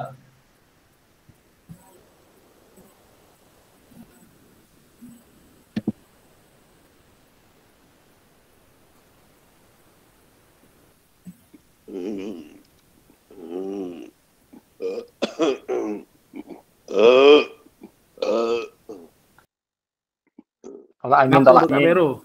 Masuk angin apa? Ya memang kurang sehat aku kak, kakak. batuk, pilek, demam aku nih sudah. Wah, sudah tiga hari ya ini. Oh, jaga kondisi kak, nak tetap muka gitu. Iyo, nggak tahu nih nah, masih masih udah berobat kemarin, tapi masih lah, masih oyong-oyong ini, masih pusing-pusing. Kak Vero ngajar di Semarang. Kak Vero. Ayo, ayo, apa, apa kak? Ngajar di Semawa, daerah mana? Kak? Daerah Sembawa kak. Hmm? Daerah Sembawa tuh lah. Rejo Dadi. Rejo Dadi. Rejo Oh, Dadi. Raja Dadi. Iya. Desa Rejo Dadi, kakak di mana? Tahu? Aku kan Pangkal Balai. Bawang Balai. Iya. Rejo Dadi ya. Tapi tugas di Palembang ini. Jadi wong wong wong ini wong Pangambalai tugasnya di Palembang. Yo. Kemarin tuh aku di sini satu. Sini satu Pak sih. Eh, kenapa nak pindah? Eh, Dapatnya di sana. Dapat dia dapat di Palembang. Palembang di di berapa? Di sekolah mana? Talang Kelapo ini lah. Oh, Tanglapa. Iya, KM 12. Hmm, apa tukaran kita? Jadi kalau baca Ayo, kita urus ke, ke dinas. kita urus dinas, kita sa- saling tukar kita, ya. jadi Boleh Jadi, tukaran. Kak Vero balik ke Palembang. Iya, aku tuh di kilometer 10 rumah.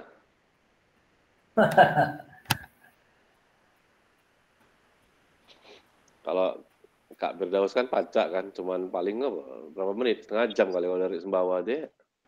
Iya. Pangkal Balai.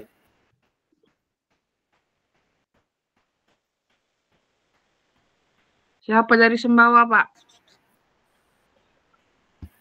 Tidak ada dulu. Mau tahu, mau tahu apa mau tahu aja. Aku di situ, Pak. Tinggalnya aku di Sembawa, di pulau. Nah, kan Di pulau ya. Mm-mm. Kak Upa di mana ngajarnya? Ngajar di, di Tungkal Ilir. Ngajar di Tungkal Ilir Oh, ya? jauh. Ah, nggak usah lah, nggak usah tukaran nggak, nggak usah, nggak usah. Lagi lah Kak Vero, tukar lah. Iya, iya, iya, iya.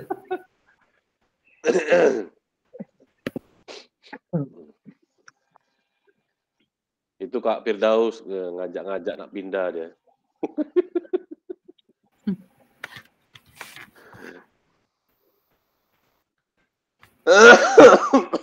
Aduh, udah hancur lah.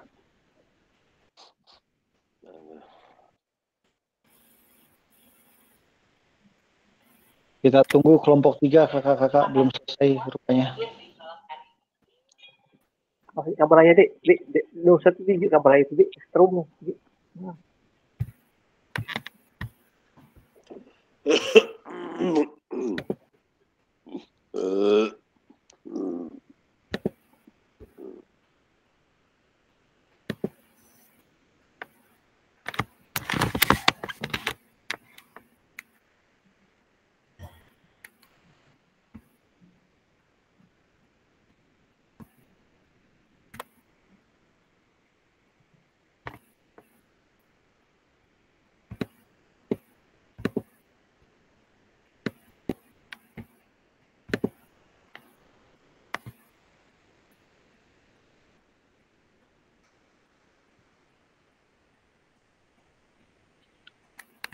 Ibu Leni tadi file kita di siapa, Bu?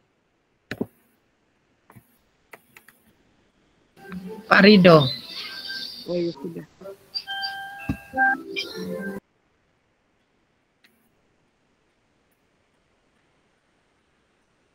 Mau menyukses. Nah, 10 itu Kelompok tiga kita tunggu sampai 4 jam 9.20 ya. Kalau masih belum nanti eh, saya tutup roomnya.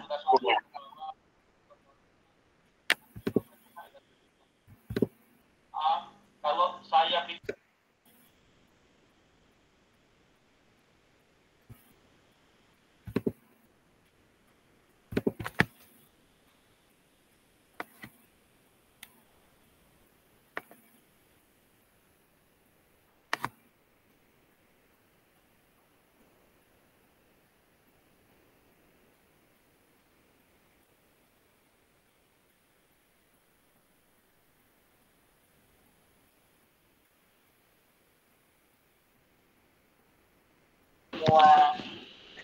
Oke, kakak-kakak. Eh, selanjutnya kegiatan kita adalah presentasi dalam waktu 45 menit. Jadi masing-masing kelompok waktu presentasinya 15 menit ya kakak-kakak ya. Eh, nampaknya cukup lama diskusi hari ini tidak kekurangan waktu seperti sebelum-sebelumnya. Kita mulai berurutan saja dari kelompok satu kakak-kakak. Silakan kelompok satu memulai diskusinya 15 menit ke depan.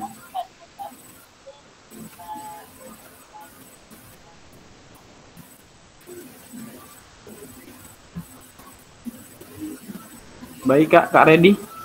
Tolong di share screen. Siap.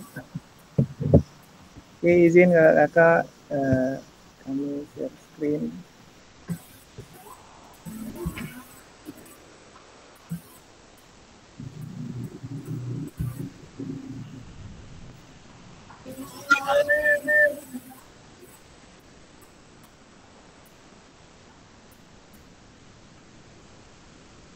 Ya, Oke, udah Kak, tampil ya. Oke, silakan Kak Juanda. Baik, terima kasih Kak Redi. Assalamualaikum warahmatullahi wabarakatuh. Selamat malam semua kakak-kakak serta PKG PJOK kelas 8. Eh, kami dari kelompok 1 akan mendiskusikan lembar kerja kelompok 1. Eh, kami beranggotakan enam orang. Yang pertama ada Kak Arif Rozi, Arif Rozi, kemudian ada Kak Firdaus Hidayatullah, dan saya sendiri Juanda Hafiz.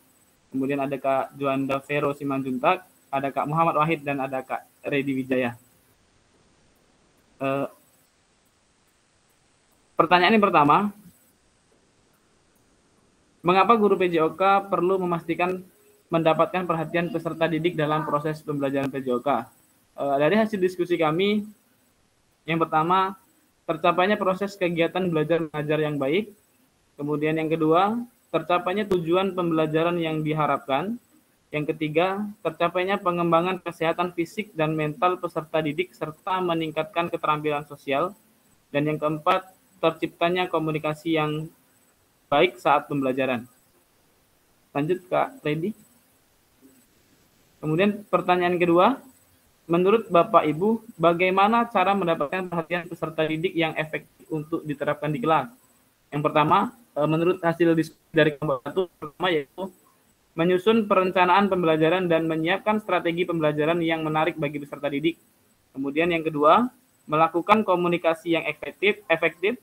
Kemudian yang ketiga, penggunaan waktu yang efisien. Yang keempat, memberikan kesempatan peserta didik untuk berekspresi dan terlibat aktif dalam pembelajaran di kelas. Kemudian yang kelima, tujuan pembelajaran yang jelas. Dan yang keenam, memberikan tantangan yang sesuai dengan tingkat kemampuan peserta didik. Uh, ini maksud memberikan tantangan yang sesuai dengan tingkat kemampuan peserta didik. Uh, mungkin peserta didik akan lebih termotivasi atau tertantang akan mengikuti pembelajaran yang selanjutnya seperti itu kakak-kakak sekalian. Uh, mungkin itu hasil dari diskusi kami. Apabila ada pertanyaan atau tambahan dari kelompok lain, kami persilahkan.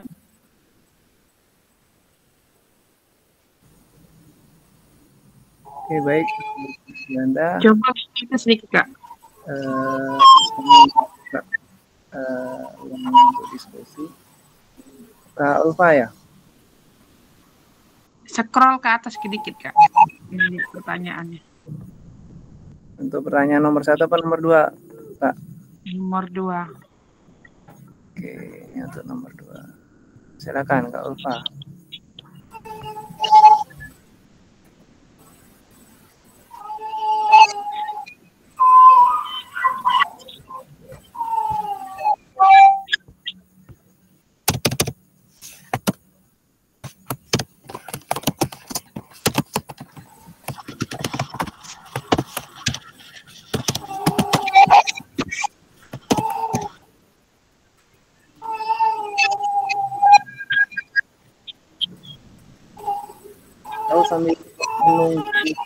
Uh, uh, Oke, okay. Kak Ulfa silakan Kak Ulfa. Baik, terima kasih kesempatan yang telah diberikan. Uh, di sini yang saya ingin diskusikan atau yang ingin saya tanyakan, apakah perlu eh, apakah perlu untuk mendapatkan perhatian peserta didik tadi eh, efektif untuk diterapkan di kelas itu, perlu nggak kita sebagai guru olahraga menyimpan apa yang menyimpan? Memiliki memiliki memiliki latar belakang baik latar belakang sosial eh, peserta itu didik itu sendiri. Sepertinya Kak cangkupan Kakak itu itu secara ini Pak ya, secara secara konteks konteksnya konteks media. Cuman kalau menurut saya yang agak saya kurang itu kurangnya ini Pak ya memperlakukan psikologi, psikis, emosional di dalam peserta didik. Eh, menurut saya itu sangat mempengaruhi Pak kalau perhatian terhadap konteks kita tadi. Jadi perlu nggak kalau kita tuh mengumpulkan latar belakang dari sosial peserta didik tadi? Paham nggak Pak maksud saya? Maksud dari Kak Ulfa tadi perlu nggak kita memasukkan uh, kita uh, perhatian kita terhadap uh, kondisi psikologi murid mungkin seperti itu ya Kak Ulfa? Iya. Untuk di cara untuk di pertanyaan nomor dua yaitu bagaimana cara mendapatkan perhatian peserta didik. Ya, salah satunya tadi yang di disarankan oleh Kak Ulfa perlu nggak kita memasukkan uh, uh, memperhatikan kondisi psikologi murid seperti itu Kak Ulfa ya? Iya. Oke, mungkin ini uh, Kak Muhammad Wahid, silakan Kak menanggapi masukan dari Kak Ulfa tadi. Silakan Kak.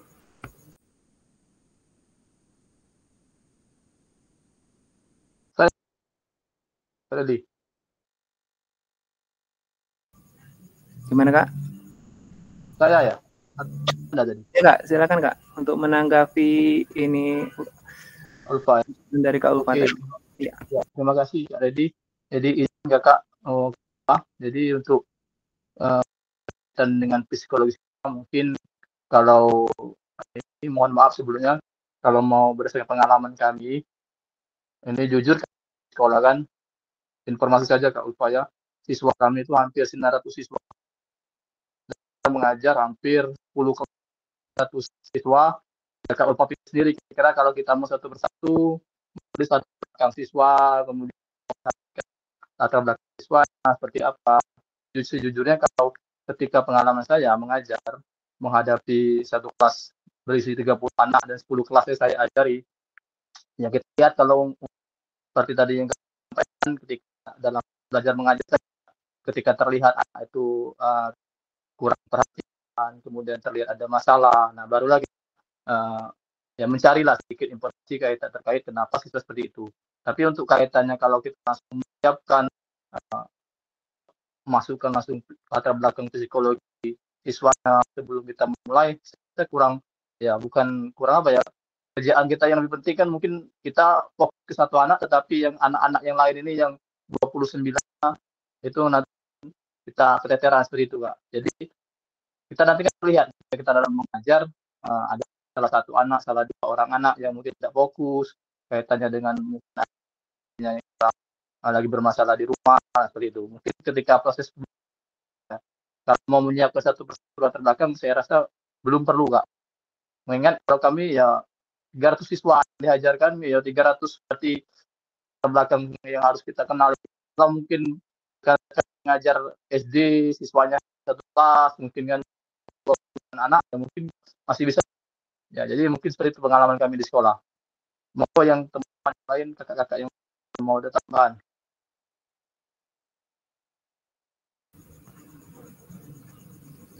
Oke, ada eh, lagi dari eh, kakak yang lain yang ingin menanggapi. Eh, jadi, oke, silakan Kak Andi. Eh, dari kelompok satu Kak Wahid ya. Eh, ada benarnya dari Kak Wahid tadi eh, untuk data kita ini kan bank data untuk guru. Sedangkan di pertanyaan itu menurut Bapak Ibu bagaimana cara mendapatkan perhatian serta didik. Kalau kita mengumpulkan bank data peserta didik yang mempunyai notabene psikologi yang berbeda-beda, itu boleh-boleh saja, tapi digunakan dalam konteks untuk proses pembelajaran. Contohnya, uh, salah satu uh, psikologi anak kita uh, tidak bagus karena mempunyai latar belakang bla bla bla.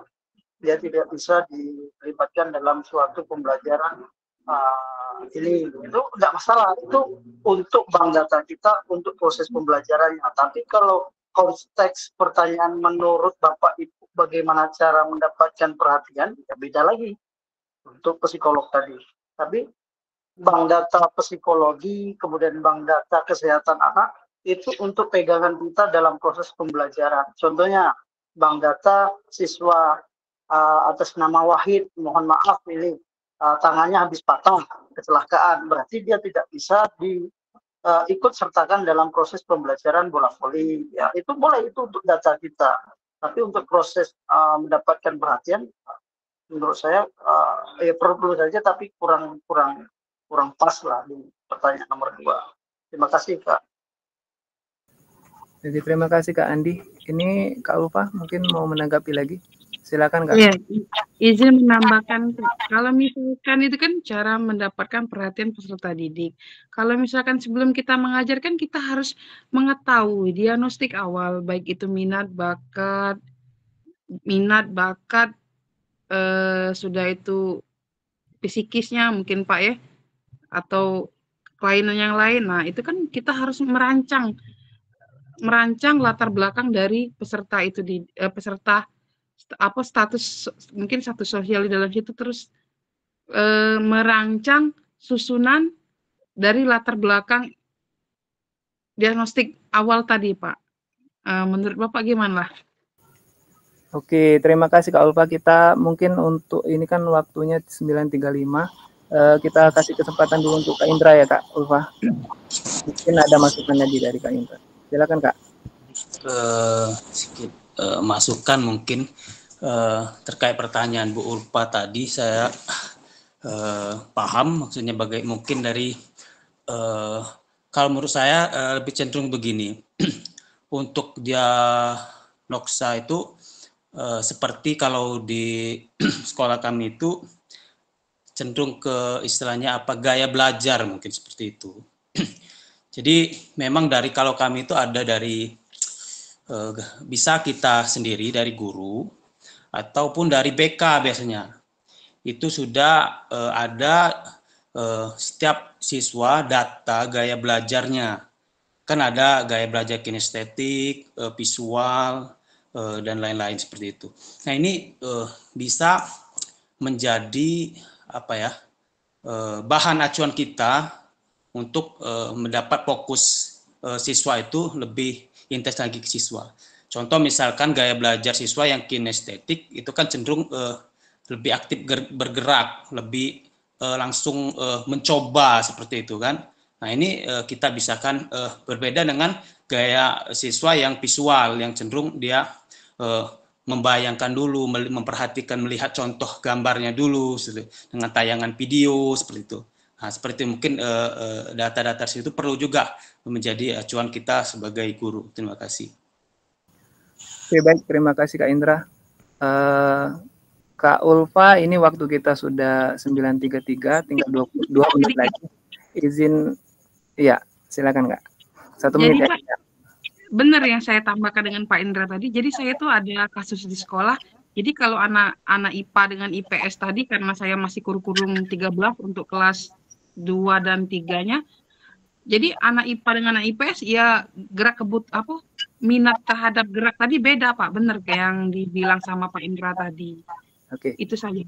Oke, terima kasih Kak Ulfa. Uh, izin kami sebagai pembawa acara uh, dalam satu menit ini merangkum dari uh, apa yang telah disampaikan oleh Kak Wahid, kemudian Kak Andi, Kak Indra juga Tadi pada intinya Kak Ulfa uh, masukan yang Kak Ulfa uh, beri, berikan kepada kami tadi bukan berarti tidak penting, bukan berarti penting, namun itu juga penting sebagai acuan kita untuk melaksanakan kegiatan pembelajaran yang uh, nantinya akan berpengaruh terhadap uh, perhatian peserta didik begitu.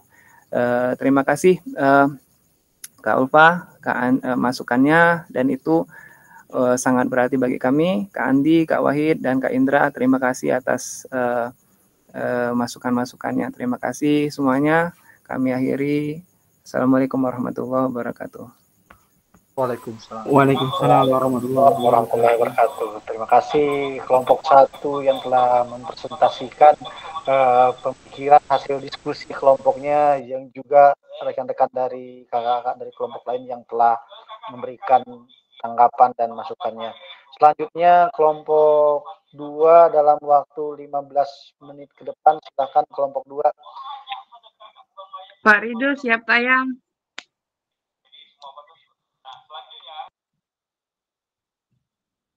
Pak Rido.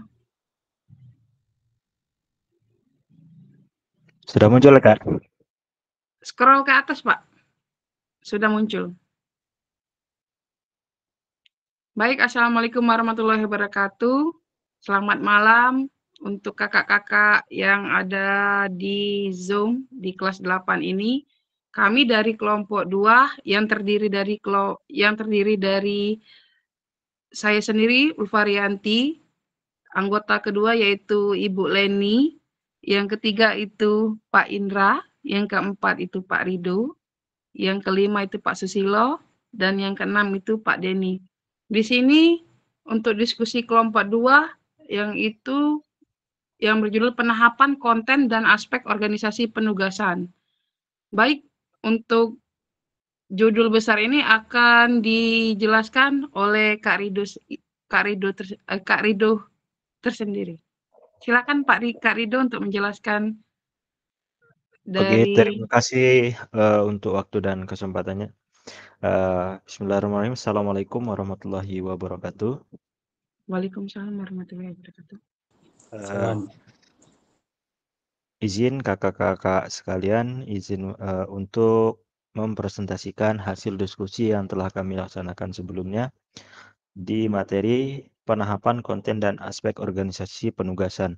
Nah, di sini ada dua hal yang kami bahas dalam diskusi tadi. Yang pertama adalah uh, mengapa guru perlu memperhatikan penahapan dari konten atau keterampilan gerak yang akan diajarkan dalam proses pembelajaran PJOK itu. Nah, eee, mengapa demikian? Eee, karena tugas yang akan dilakukan harus berorientasi pada tujuan pembelajaran dan pentingnya pengaturan pengorganisasian proses pembelajaran itu sendiri. Itu disebabkan karena setiap individu peserta didik itu memiliki pengalaman gerak yang berbeda antara satu dengan yang lain. Sehingga keterampilannya yang dimiliki pun itu pasti beragam. Eee, kemudian dengan adanya proses itu uh, tahapan konten tersebut anak-anak lebih paham dalam sistematis geraknya yang akan dilakukan. Uh, untuk mengetahui progres itu, progres tugas gerak dalam rangka mengantarkan perjalanan peserta didik dari level pemula ke level yang lebih mahir. Kemudian uh, permasalahan kedua yaitu bagaimana cara pengelolaan atau alur penyampaian tugas gerak yang efektif untuk diterapkan di kelas. Nah, di sini ada langkah-langkahnya. Yang pertama, eh, kami harus mengembangkan tujuan pembelajaran yang berdasarkan capaian sesuai dengan level atau kelas yang disusun secara sistematis dalam pembelajaran sehingga peserta didik dapat mencapai tujuan pembelajaran tersebut dan terlaksananya pembelajaran yang berdiferensiasi. Uh, adapun langkah-langkahnya yang harus kami perhatikan adalah perencanaan awal, kemudian ada desain gerak, penyampaian tugas gerak, latihan dan praktik, pengawasan, refleksi, tindak lanjut, serta yang terakhir itu uh, motivasi. Mungkin Baik, itulah penjelasan dari kelompok kami. Mungkin dari kelompok lain ada yang perlu ditambahkan atau didiskusikan, kami persilakan.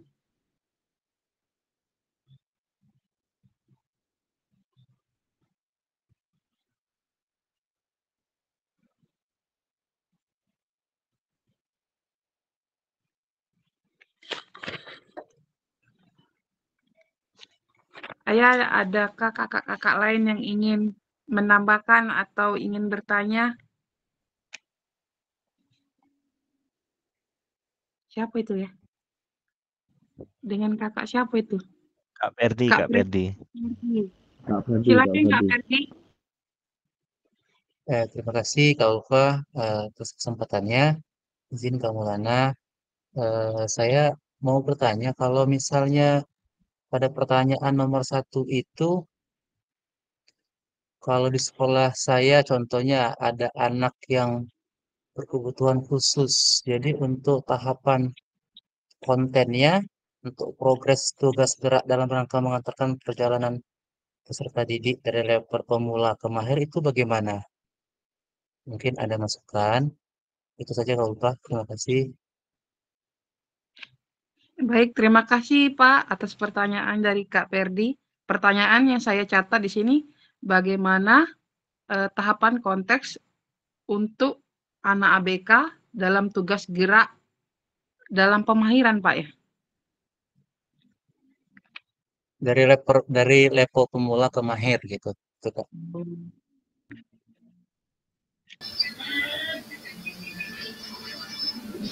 Silakan untuk kelompok dua, eh, Ibu Leni dan kawan-kawan untuk salah satunya menjawab pertanyaan dari Kak Perdi. Baik, izin menanggapi Kak Ulfa ya.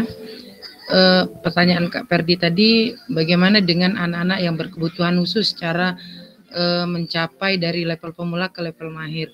Untuk Iya. anak yang berkebutuhan khusus, di capaian yang terbaru yang dikirim oleh Kak Maulana kemarin, ada khusus untuk capaian anak yang yang memiliki kebutuhan khusus. Di situ kita akan kembangkan tujuan pembelajaran yang sesuai dengan kemampuan peserta didik tersebut, tidak dituntut sama dengan peserta didik lainnya karena ada capaiannya yang berbeda sesuai dengan eh, kemampuan dan kebutuhan peserta didik yang memiliki kebutuhan khusus tersebut.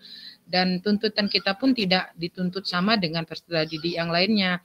Nanti perancangan pembelajarannya sedikit berbeda dengan eh, anak peserta didik yang lainnya. Kemudian eh, untuk pelaksanaannya mungkin anak tersebut kalau di teori tetap ikut, mungkin kalau di prakteknya dia disesuaikan dengan eh, kemampuan yang dia miliki. Mungkin itu dari saya. Kalau ada yang lain mau nambahkan, silakan Kak.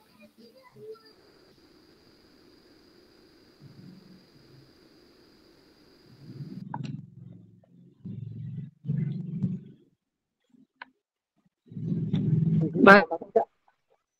Itulah jawaban dari beberapa dari angg- anggota kelompok kami. Mungkin ada teman-teman yang satu kelompok ingin menanggap eh, menanggapi Oke, izin Kak menambahkan. lain.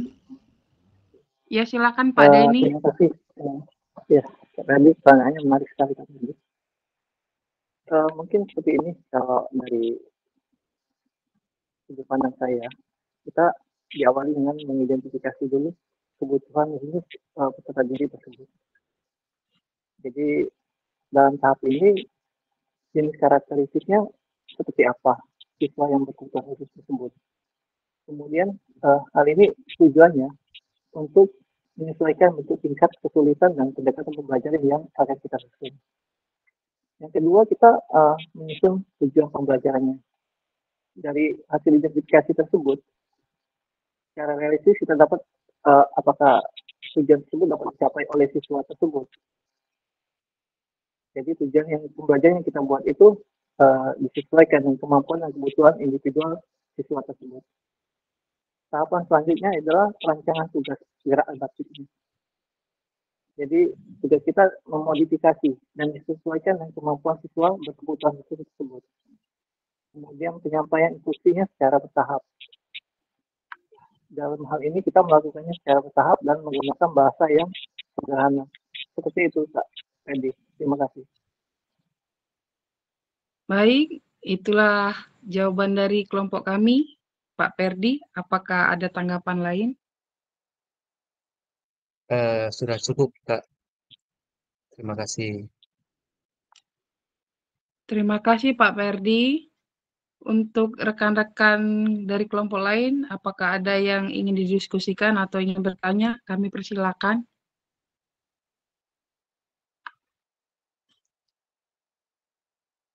Tangan.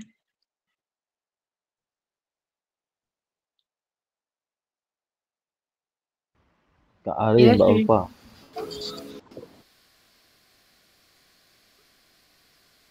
Apakah ada rekan-rekan teman kelompok lain yang ingin bertanya? Kami Kak Ari, Kak. Ari, Kak Ari. Kak Ari, Bu Ulfa. Oh, Kak Oke. Ari. Ya, silakan. Baik Kak, terima kasih atas waktunya. Menyambung pertanyaan dari Kak Ferdi tadi Kak. Ini saya eh, mengajarnya di kelas bawah. Untuk pembagian kita tahu kelas bawah itu belajarnya dasar, gerak dasar lokomotor, gerak dasar non lokomotor. Nah, itu untuk kemampuan level terendah sampai level tertinggi, itu di contohnya di gerak lokomotor itu seperti apa itu kak terima kasih. Ya, terima kasih Kak Ari. Eh, untuk pertanyaan dari Pak Ari, mohon dibantu jawabannya dan kawan-kawan. Baik, izin menanggapi eh, pertanyaan Kak Ari tadi untuk kelas rendah mungkin di kelas 1 SD ya. Eh, di sini karena anak-anak di kelas 1 SD itu masih masa transisi PAUD ke eh, SD, maka pola geraknya masih pola gerak dasar yang akan diajari.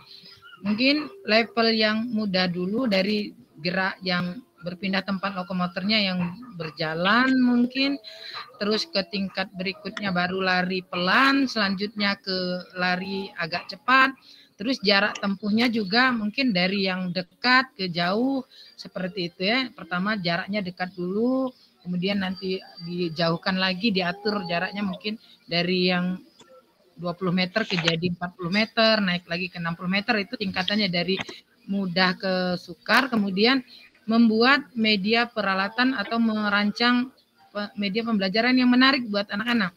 Contohnya kalau lari bolak-balik diberi bola yang warna-warni itu, anak-anak di, diminta untuk memindahkan itu untuk latihan gerak lokomotornya. Mungkin seperti itu, Kak. Atau ada yang mau nambahkan dari saya mungkin itu, Kak. Terima kasih. Oke, nambahkan sedikit. Silakan, Pak. Oke, untuk pertanyaan sudah bagus Kak Ari tadi bagaimana untuk gerakan lokomotor. Nah, di sini gerakan lokomotor untuk mungkin benar uji Kak Leni tadi untuk anak tingkatan SD kelas 1 atau kelas rendah. Anak-anak biasanya dikasih untuk tadi jarak dekat dulu tahapan-tahapan mulai dari memindahkan kaki kanan, kaki kiri, mulai dari kita lihatkan gambar agar anak-anak bisa menangkap pembelajaran itu secara aktif Kak Ari. Jadi setelah anak-anak sudah menangkap gambar yang kita kasihkan, anak-anak kita minta untuk mencontohkan atau melakukan gerakan tersebut Kak Ari. Mungkin itu saja Kak Ari. Terima kasih. Izin nambahkan lagi, Kak. Ya, Ya, silakan. karena anak anak kelas rendah itu kelas 1 itu masih sifatnya menirukan. Mungkin ya benar yang disampaikan tadi oleh Kakak sebelumnya, kita beri gambar yang menirukan gajah berjalan, mungkin menirukan eh, katak berjalan seperti itu. Langkah-langkah geraknya masih dasar untuk latihan lokomotornya. Mungkin itu, Kak. Terima kasih.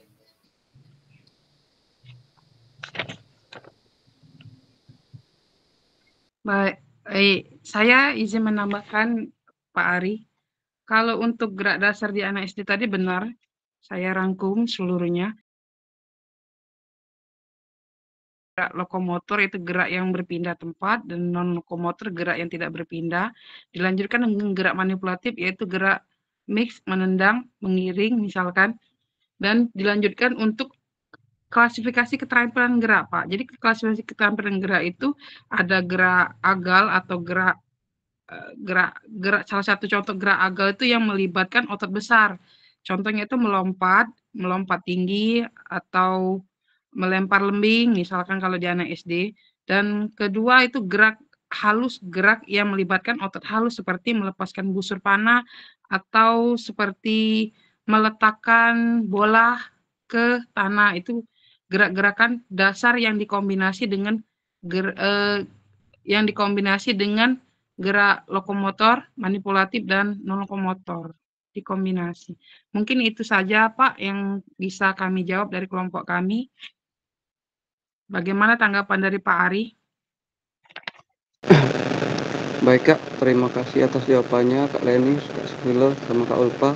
Tapi terkadang anak satu kelas 1 SD ini kalau dibagi kelompok seperti itu ada beberapa mereka merasa bertanya kepada gurunya, kok aku nggak ngelakuin gerakan seperti itu, kok aku ngelakuin gerakannya yang seperti ini. Nah, terkadang kelas satu timbulnya ada efek bersedih. Dia tidak mencoba kayak gitu kalau di lapangan kak yang saya rasakan mungkin uh, ada penjelasan bagaimana menanggapinya atau gimana atau harus atau bolehkah untuk kelas bawah itu dijadikan satu materi minggu ke depan materi selanjutnya terus semuanya dengan materi yang sama begitu. Terima kasih. Baik terima kasih Pak Eri silakan Eni sebagai emak kita dan kawan-kawan mungkin ada pengalaman mengajar Ibu. Baik, saya akan menanggapi Kak. Untuk tahapan tadi tidak dibagi Iya, tidak dibagi kelompoknya, tapi ada tahapan dari yang gerakan yang mudah dulu, dari dia gerakan berjalan mungkin ya bersama temannya bergandengan tangan jaraknya didekatkan. Kemudian dia sudah bisa mencapai itu baru jaraknya dijauhkan di level sedang. Kemudian dijauhkan lagi di level yang lebih tinggi lagi seperti itu. Selanjutnya dia gerak manipulatifnya dia menggunakan benda. Dia memindahkan benda-benda yang berwarna-warni tadi. Bisa berpasangan bisa berkelompok bisa individu. Nanti dia dilakukan dari pertama langkahnya dari jarak dekat ke jarak jauh, eh sedang kemudian ke jauh seperti itu. Menanggapi boleh enggak itu dilakukan berulang? Kan kita pembagian eh, materi itu kita sudah rancang di sebelumnya di alur tujuan pembelajaran. Ada yang bisa dilakukan berapa kali pertemuan dan ada bisa dilakukan dengan mungkin hanya dua kali atau tiga kali pertemuan. Ada yang berkali-kali pertemuan sesuai dengan tingkat kesulitan materi pembelajaran yang kita akan sampaikan. Mungkin itu kak dari saya. Terima kasih sebagai alumni dari Wisma Atlet sendiri. Oke, boleh ditutup Kak Ulfa. Sudah habis waktunya kita. Jauh kak ya. Ini, ini sedikit saran kak untuk kegiatan. Oke, Kak, apakah sudah selesai Kak Ulfa, kelompok dua Kak Ulfa? Ya, demikianlah penjelasan dari kelompok kami. Mungkin apabila ada kurang yang salah kami mohon maaf kepada tuh kepada Tuhan yang menampung. Saya akhiri wassalamualaikum warahmatullahi wabarakatuh. Waalaikumsalam warahmatullahi wabarakatuh. Terima kasih untuk kelompok dua. Tampaknya diskusinya menghangat di akhir ya Kak Ulfa ya. Iya. Di awal kalem-kalem untuk terakhir tambah lama tambah panas diskusinya untuk kelompok dua ini. Iya, Pak. Uh, Tambah selanjutnya kelompok tiga kakak-kakak silakan. Uh, berarti sampai jam 10 berapa nih? 08 ya? Atau ya 10.08 ya kak ya? 15 menit. Silakan kelompok tiga untuk dimulai diskusinya.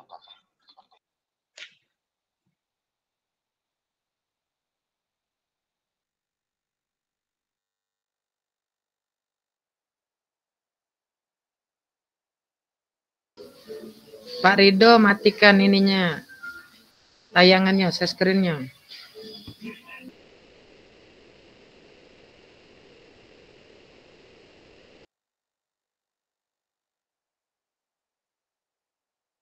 Keluar di Pak Rido, Bu.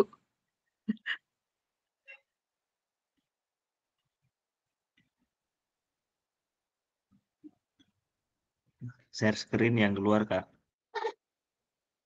Keluar orangnya, Pak.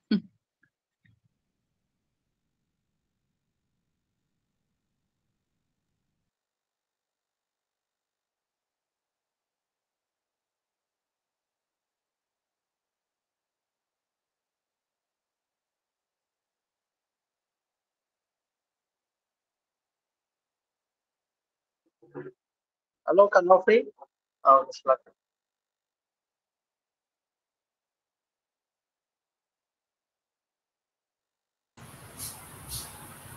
Ya, silakan. Jauh. Kali. Apa aku moderator? Yang ngetik tadi siapa? Si Ikhwan. Oke, Bismillahirrahmanirrahim. Assalamualaikum warahmatullahi wabarakatuh. Terima kasih ke fasilitator, Maulana, dan rekan-rekan yang lainnya. Di sini dari kelompok tiga, kami beranggotakan uh, saya sendiri, Hendro Jonto, kemudian Pak Novi, kemudian Pak Ivan, ada Ibu Desi. Tolong ke atas lagi, Pak. Scroll lagi, Pak. Kak Ivan. Ada Kak Ferdi, kemudian ada Kak Wahyu. Uh, nanti uh, di kelompok kami akan dibacakan oleh Kak Ikhwan. Kepada Kak Ikhwan kami persilakan.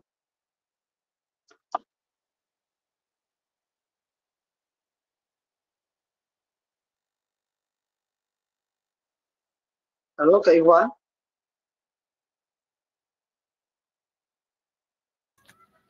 Iya kak, halo kak. Ya, langsung. Kami akan mendiskusikan hasil diskusi dari kelompok tiga. Yang pertama itu apa yang dimaksud dengan isyarat CU pembelajaran menurut hasil diskusi dari kelompok. Secara definisi, isyarat pembelajaran adalah suatu kata atau frasa yang mengidentifikasi atau mengkomunikasikan kepada murid ciri-ciri penting dari suatu keterampilan atau tugas. Kemudian yang selanjutnya seberapa penting CU CUE pembelajaran ini berperan dalam efektivitas pembelajaran PJOK. Berikan alasannya. Menurut kelompok kami sangat penting karena isyarat pembelajaran dapat meningkatkan motivasi dan keterlibatan siswa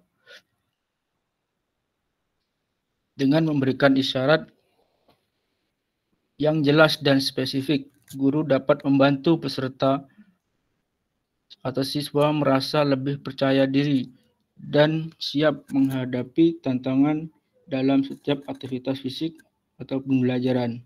Dan yang kedua, isyarat juga bisa berupa pujian atau dorongan yang membuat siswa merasa dihargai dan termotivasi untuk terus berusaha. Hal ini sangat penting dalam PJOK, di mana motivasi dan semangat sangat mempengaruhi kinerja dan partisipasi siswa. Selanjutnya, isyarat pembelajaran membantu dalam penilaian dan umpan balik yang efektif. Guru dapat menggunakan isyarat untuk memberikan umpan balik langsung dan koreksi kepada siswa, sehingga mereka dapat segera memperbaiki kesalahan dan meningkatkan keterampilan mereka.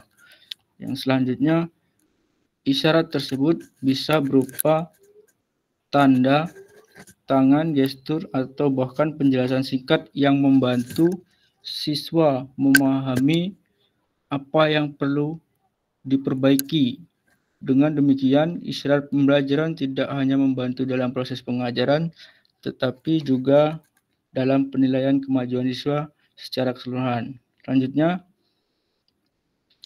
mendorong keterampilan komunikasi nonverbal.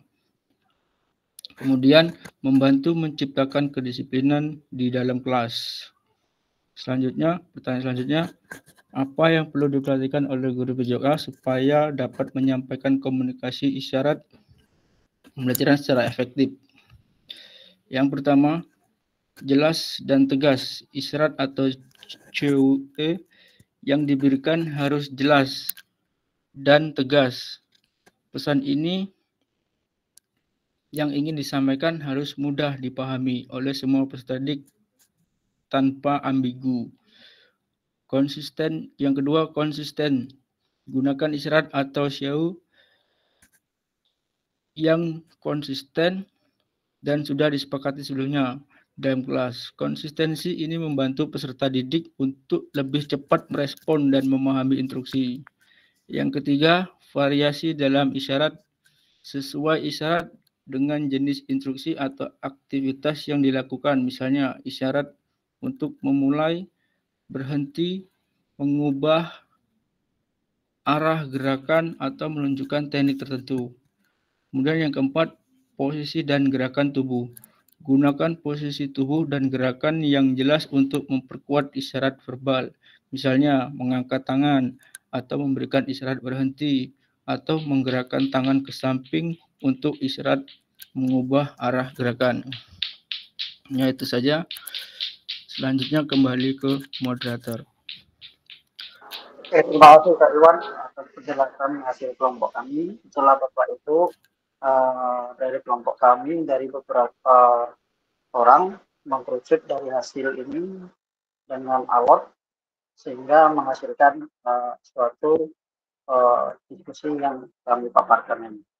Karena waktu kok 10.08 jadi ada waktu 8 menit untuk sesi tanya jawab, tanya jawab ataupun masukan terhadap kelompok tiga warga yang mau menanggapi atau bertanya kami persilakan untuk raise hand.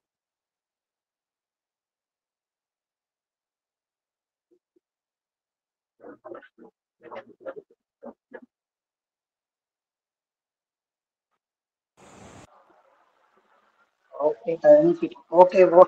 Wah, silakan. Baik, terima kasih atas kesempatannya. Yang ingin saya tanyakan dari kelompok tiga ini, isyarat apa saja yang Bapak lakukan ketika Bapak mengajar di sekolah? Itu saja yang sering dilakukan.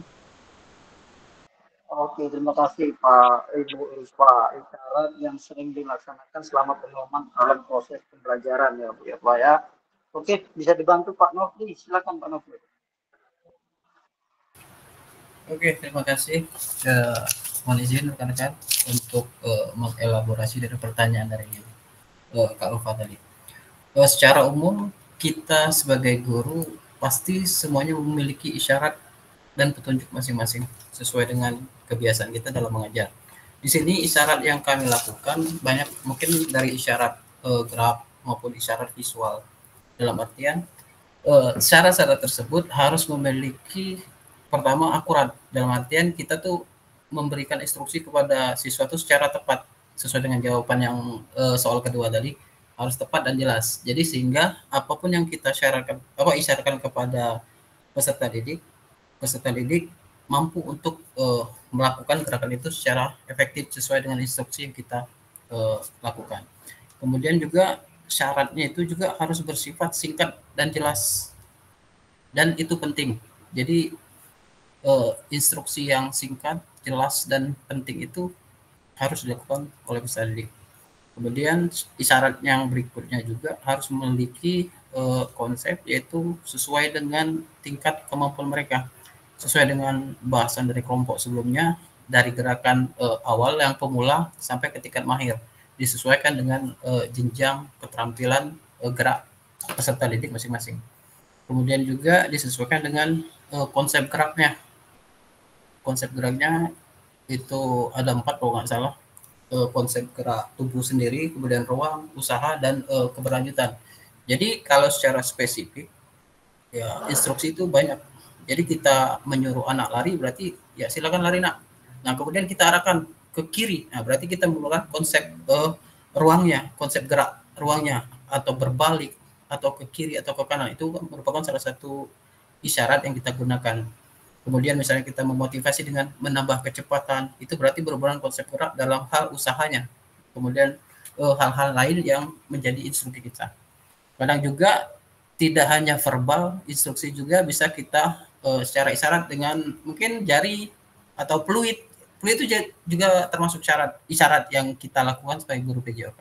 Uh, mungkin itu dari saya, mungkin rekan-rekan kelompok tiga ada yang menambahkan, silakan. Terima kasih Pak Novi. Jadi Bu Nova saya menambahkan uh, bentuk-bentuk isyarat itu banyak. Uh, tentunya dalam pembelajaran PJK bisa menggunakan fluid, bisa menggunakan gerak tangan. Kemudian contohnya isyarat mulai start bisa menggunakan angkat tangan, kemudian bisa mengucapkan kata mulai, kata go, uh, kemudian satu dua tiga tidak masalah. Kemudian isyarat berhenti atau stop itu bisa melalui fluid bisa mengangkat tangan, kemudian bisa mengucapkan lapas stop atau berhenti. kemudian isyarat ganti arah posisi uh, akan lagi jogging kita ada isyarat uh, ganti arah ke kanan tangan kita ke arahkan ke kanan arah ke kiri tangan kita ke arahkan ke kiri. Kemudian stop kita bisa menggunakan quick stop. Kemudian diperkencang larinya bisa menggunakan quick dengan nada seperti titik titik titik kemudian dan sebagainya uh, isyarat untuk merapikan barisan ada uh, lencang depan, ada lencang kanan, istirahat itu bisa kita gunakan dalam uh, proses pembelajaran PJOK. Kemudian isyarat berkomunikasi kesehatan, tanda-tanda istirahat, kemudian uh, duduk, kemudian uh, luruskan kaki ke depan, kemudian jangan ada yang bengkok uh, dan sebagainya. Contoh isyarat permainan menyajikan bola, kemudian menyajikan gambar, uh, banyak isyarat yang sering kita gunakan. Nah, isyarat tersebut yang sering kita gunakan dalam PJOK itu uh, tidak lain banyak menggunakan isyarat fluid contohnya. Nah, itu saja yang sering uh, pengalaman kita dalam proses pembelajaran. Mungkin uh, jawaban dari kami, Ulfa, apabila ada kelompok lain. Baik, Coach, kalau sudah komplit jawabannya. Terima kasih. Waktu menunjukkan 062 menit lagi. Oke, kalau tidak ada, uh, terima kasih atas waktunya. Uh, isyarat dalam pembelajaran itu sangat penting karena membantu fasilitas komunikasi dan efektif meningkatkan keterlibatan peserta didik proses pembelajaran memastikan bahwa instruksi atau arahan yang diberikan ke kita dipahami dengan jelas oleh semua orang di kelas. Dengan menggunakan isyarat yang tepat dan konsisten, guru dapat menciptakan lingkungan pembelajaran yang terstruktur dan efisien, serta membantu di peserta didik dalam respon dalam tepat dalam waktu yang sesuai. Ini rangkuman dari kami. Oh, ada Kak Juande. Silakan Kak Juande. Kak Peru, Peru. Kak Juanda, waktu kami persilakan satu menit. Terima kasih Kak, dengan waktu yang sempit ini dikasih. Uh, langsung aja Kak pertanyaan.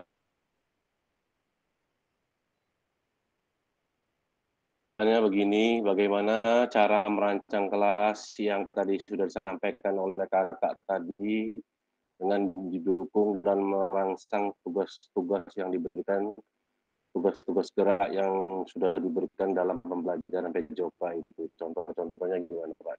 Contohnya kemudian bagaimana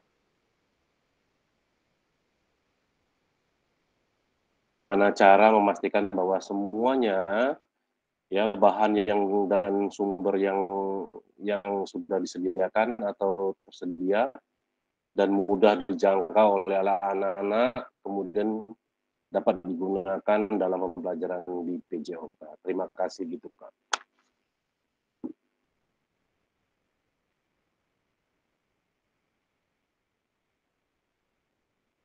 Halo? Halo Kak? Halo Kak? Pertanyaan pertama suaranya agak Suaranya nggak jelas kak ya? Kalau di sini, entah kalau punya aku. Ya, nomor satu dari Pak. Halo? Halo. Halo. Silakan Pak. Halo. Ya, lanjut. Suara putus-putus kak. Ya, Kak, soal nomor nomor satu gitu gimana kak? Nomor satu tadi. Ya. Oh ya, kayak saya ulangi kak ya. Bagaimana Bagaimana cara merancang kelas? Ya, halo Kak. Ya. Bagaimana cara merancang ya, merancang Bagaimana cara merancang kelas? Merancang kelas yang didukung dan merangsang dengan merangsang untuk tugas gerak yang digunakan dalam pembelajaran PJOK. Itu kak tadi kak nomor satu kak.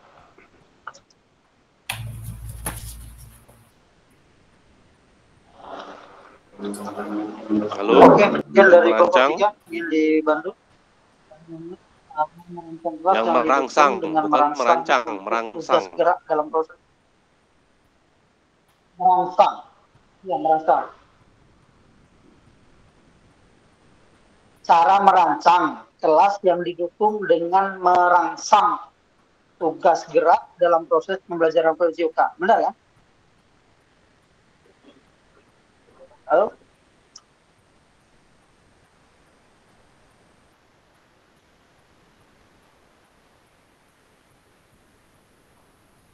Halo Kak Jondo, bagaimana cara merancang kelas? Ya kak, Uh, untuk merangsang gerak tujuan pembelajaran bagaimana cara Oke, tujuan pembelajaran yang jelas, perencanaan aktivitas yang beragam dan jelas. merancang kelas untuk ya Oke. Ini ada ada bagaimana cara merancang kelas waktu habis. yang didukung dan merangsang untuk tugas gerak menggunakan pembelajaran PJOK.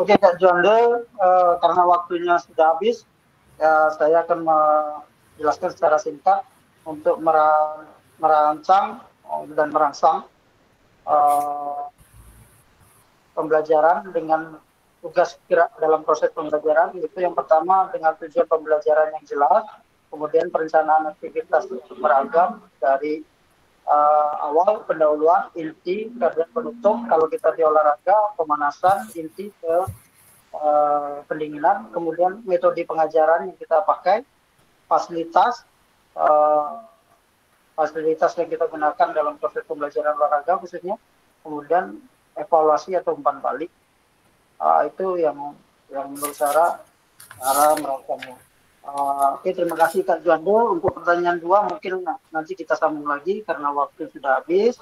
Uh, mohon maaf karena tidak kepuasan dari kami uh, untuk menjawab segala sesuatunya yang sudah dipertanyakan. Uh, Waalaikumsalam warahmatullahi wabarakatuh. Terima kasih Kak Andi dan rekan-rekan di kelompok tiga kakak. Ini diskusinya santai tapi dalam ya kakak ya untuk yang kelompok tiga ini. Eh, selanjutnya di waktu tersisa ini saya akan kembali mempresentasikan eh, layar. Sebentar,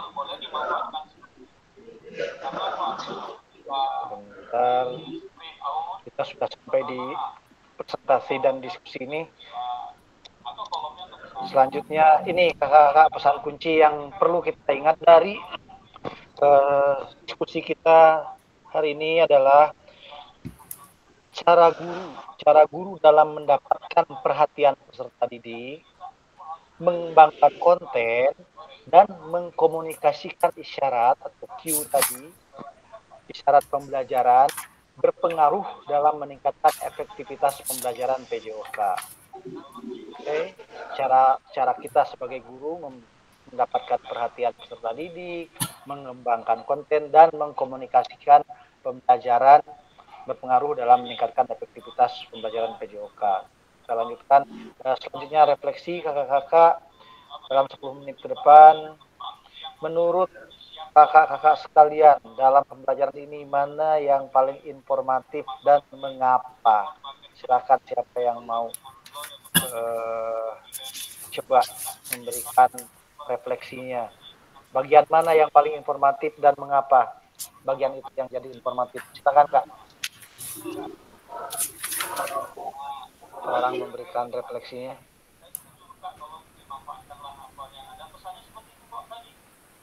Oke, kalau tidak ada saya mau dengar Kak Denny hari ini. Kak Denny, gimana bisa Kak Denny? Bisa open mic Kak Denny Adriansa? Ya, Kak. Kak Denny.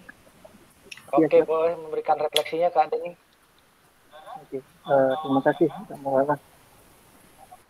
Eh, dari hasil yang saya dapat hari ini.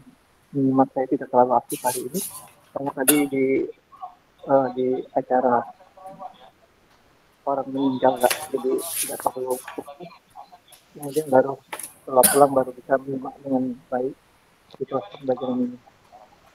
Mohon maaf sebelumnya karena terkait permasalahan tersebut uh, saya mendapatkan informasi yang lebih informatif dari pembelajaran ini yaitu yang pertama uh, dalam proses pembelajaran guru harus merancang pembelajaran sedemikian rupa sehingga target yang ingin dicapai kepada kita tadi itu dapat tercapai. Kemudian yang yang kedua yaitu uh, terkait dengan bahasa atau Q learning bahasa-bahasa yang kita gunakan untuk uh, memberikan instruksi-instruksi yang berupa visual, berupa verbal maupun non verbal. Terima kasih. Oke, terima kasih Kak Deni sudah menyampaikan refleksinya bahwa eh, perancangan pembelajaran harus mantap Kak Deni ya.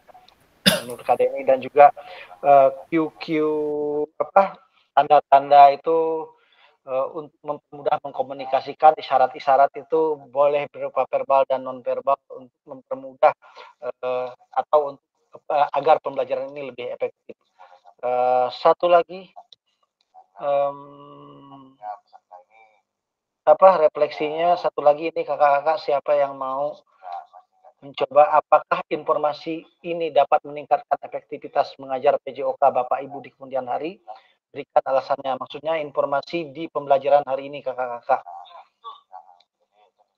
Terakhir nih kak. Siapa yang mau? Apakah dapat meningkatkan pembelajaran kakak-kakak di kemudian hari? Berikan alasannya.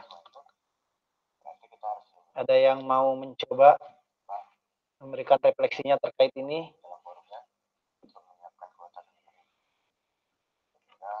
Jika, ah udah ada Kak Ulfa, silakan Kak Ulfa. Baik, terima kasih Pak atas kesempatannya.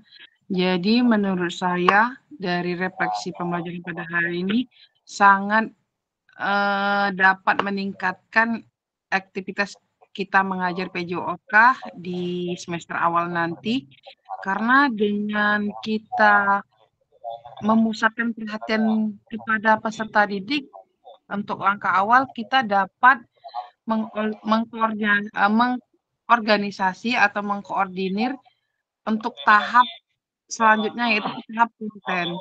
Dan dilanjutkan dengan dan dilanjutkan dengan memberikan uh, isyarat dalam pembelajaran, baik itu dari syarat untuk memulai, memulai atau mengumpulkan peserta didik, itu juga termasuk sangat penting untuk dalam mengor, meng, mengorganisir dari peserta didik itu, itu tersebut.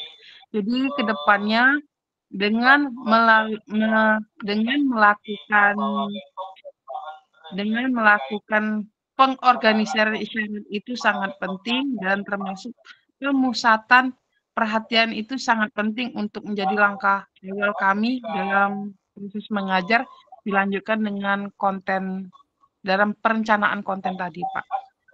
Mungkin ke depannya Oke, kami terima akan kasih berubah ya. Gimana? mungkin ke depannya kami bisa berubah sesuai dengan tahapan pembelajaran yang diberikan pada saat ini akselerasinya mungkin. Oke. Udah Kak Ulfa? Jadi Aduh. Ya ngelek kayaknya nih. Uh, jadi siap ya Kak Ulfa ya meningkatkan uh, apa kualitas pembelajarannya atau meningkatkan efektivitas mengajar PJOK-nya di semester yang baru nanti uh, untuk kita semua yang ada di ruangan ini dan juga nanti kepada peserta diseminasi uh, yang akan uh, kita sampaikan sehingga uh, pembelajaran PJOK menjadi lebih efektif. Uh, demikian kakak-kakak untuk pertemuan hari ini. Uh, terima kasih atas segala perhatian dan uh, apa dan diskusinya tadi yang saya dengar menarik. Setelah ini kita masih ada satu pertemuan lagi di hari Kamis lusa ya kakak-kakak. LMS-nya mohon diperhatikan. Insya Allah dalam waktu dekat ini saya akan juga memeriksa LMS kalau tidak hari ini besok. Untuk jadwal hari Kamis nanti akan saya sampaikan demikian. Eh, kemudian eh, terima kasih atas kehadirannya sekali lagi. Eh, selamat istirahat, selamat malam. Assalamualaikum warahmatullahi wabarakatuh. Waalaikumsalam warahmatullahi wabarakatuh. Waalaikumsalam warahmatullahi wabarakatuh.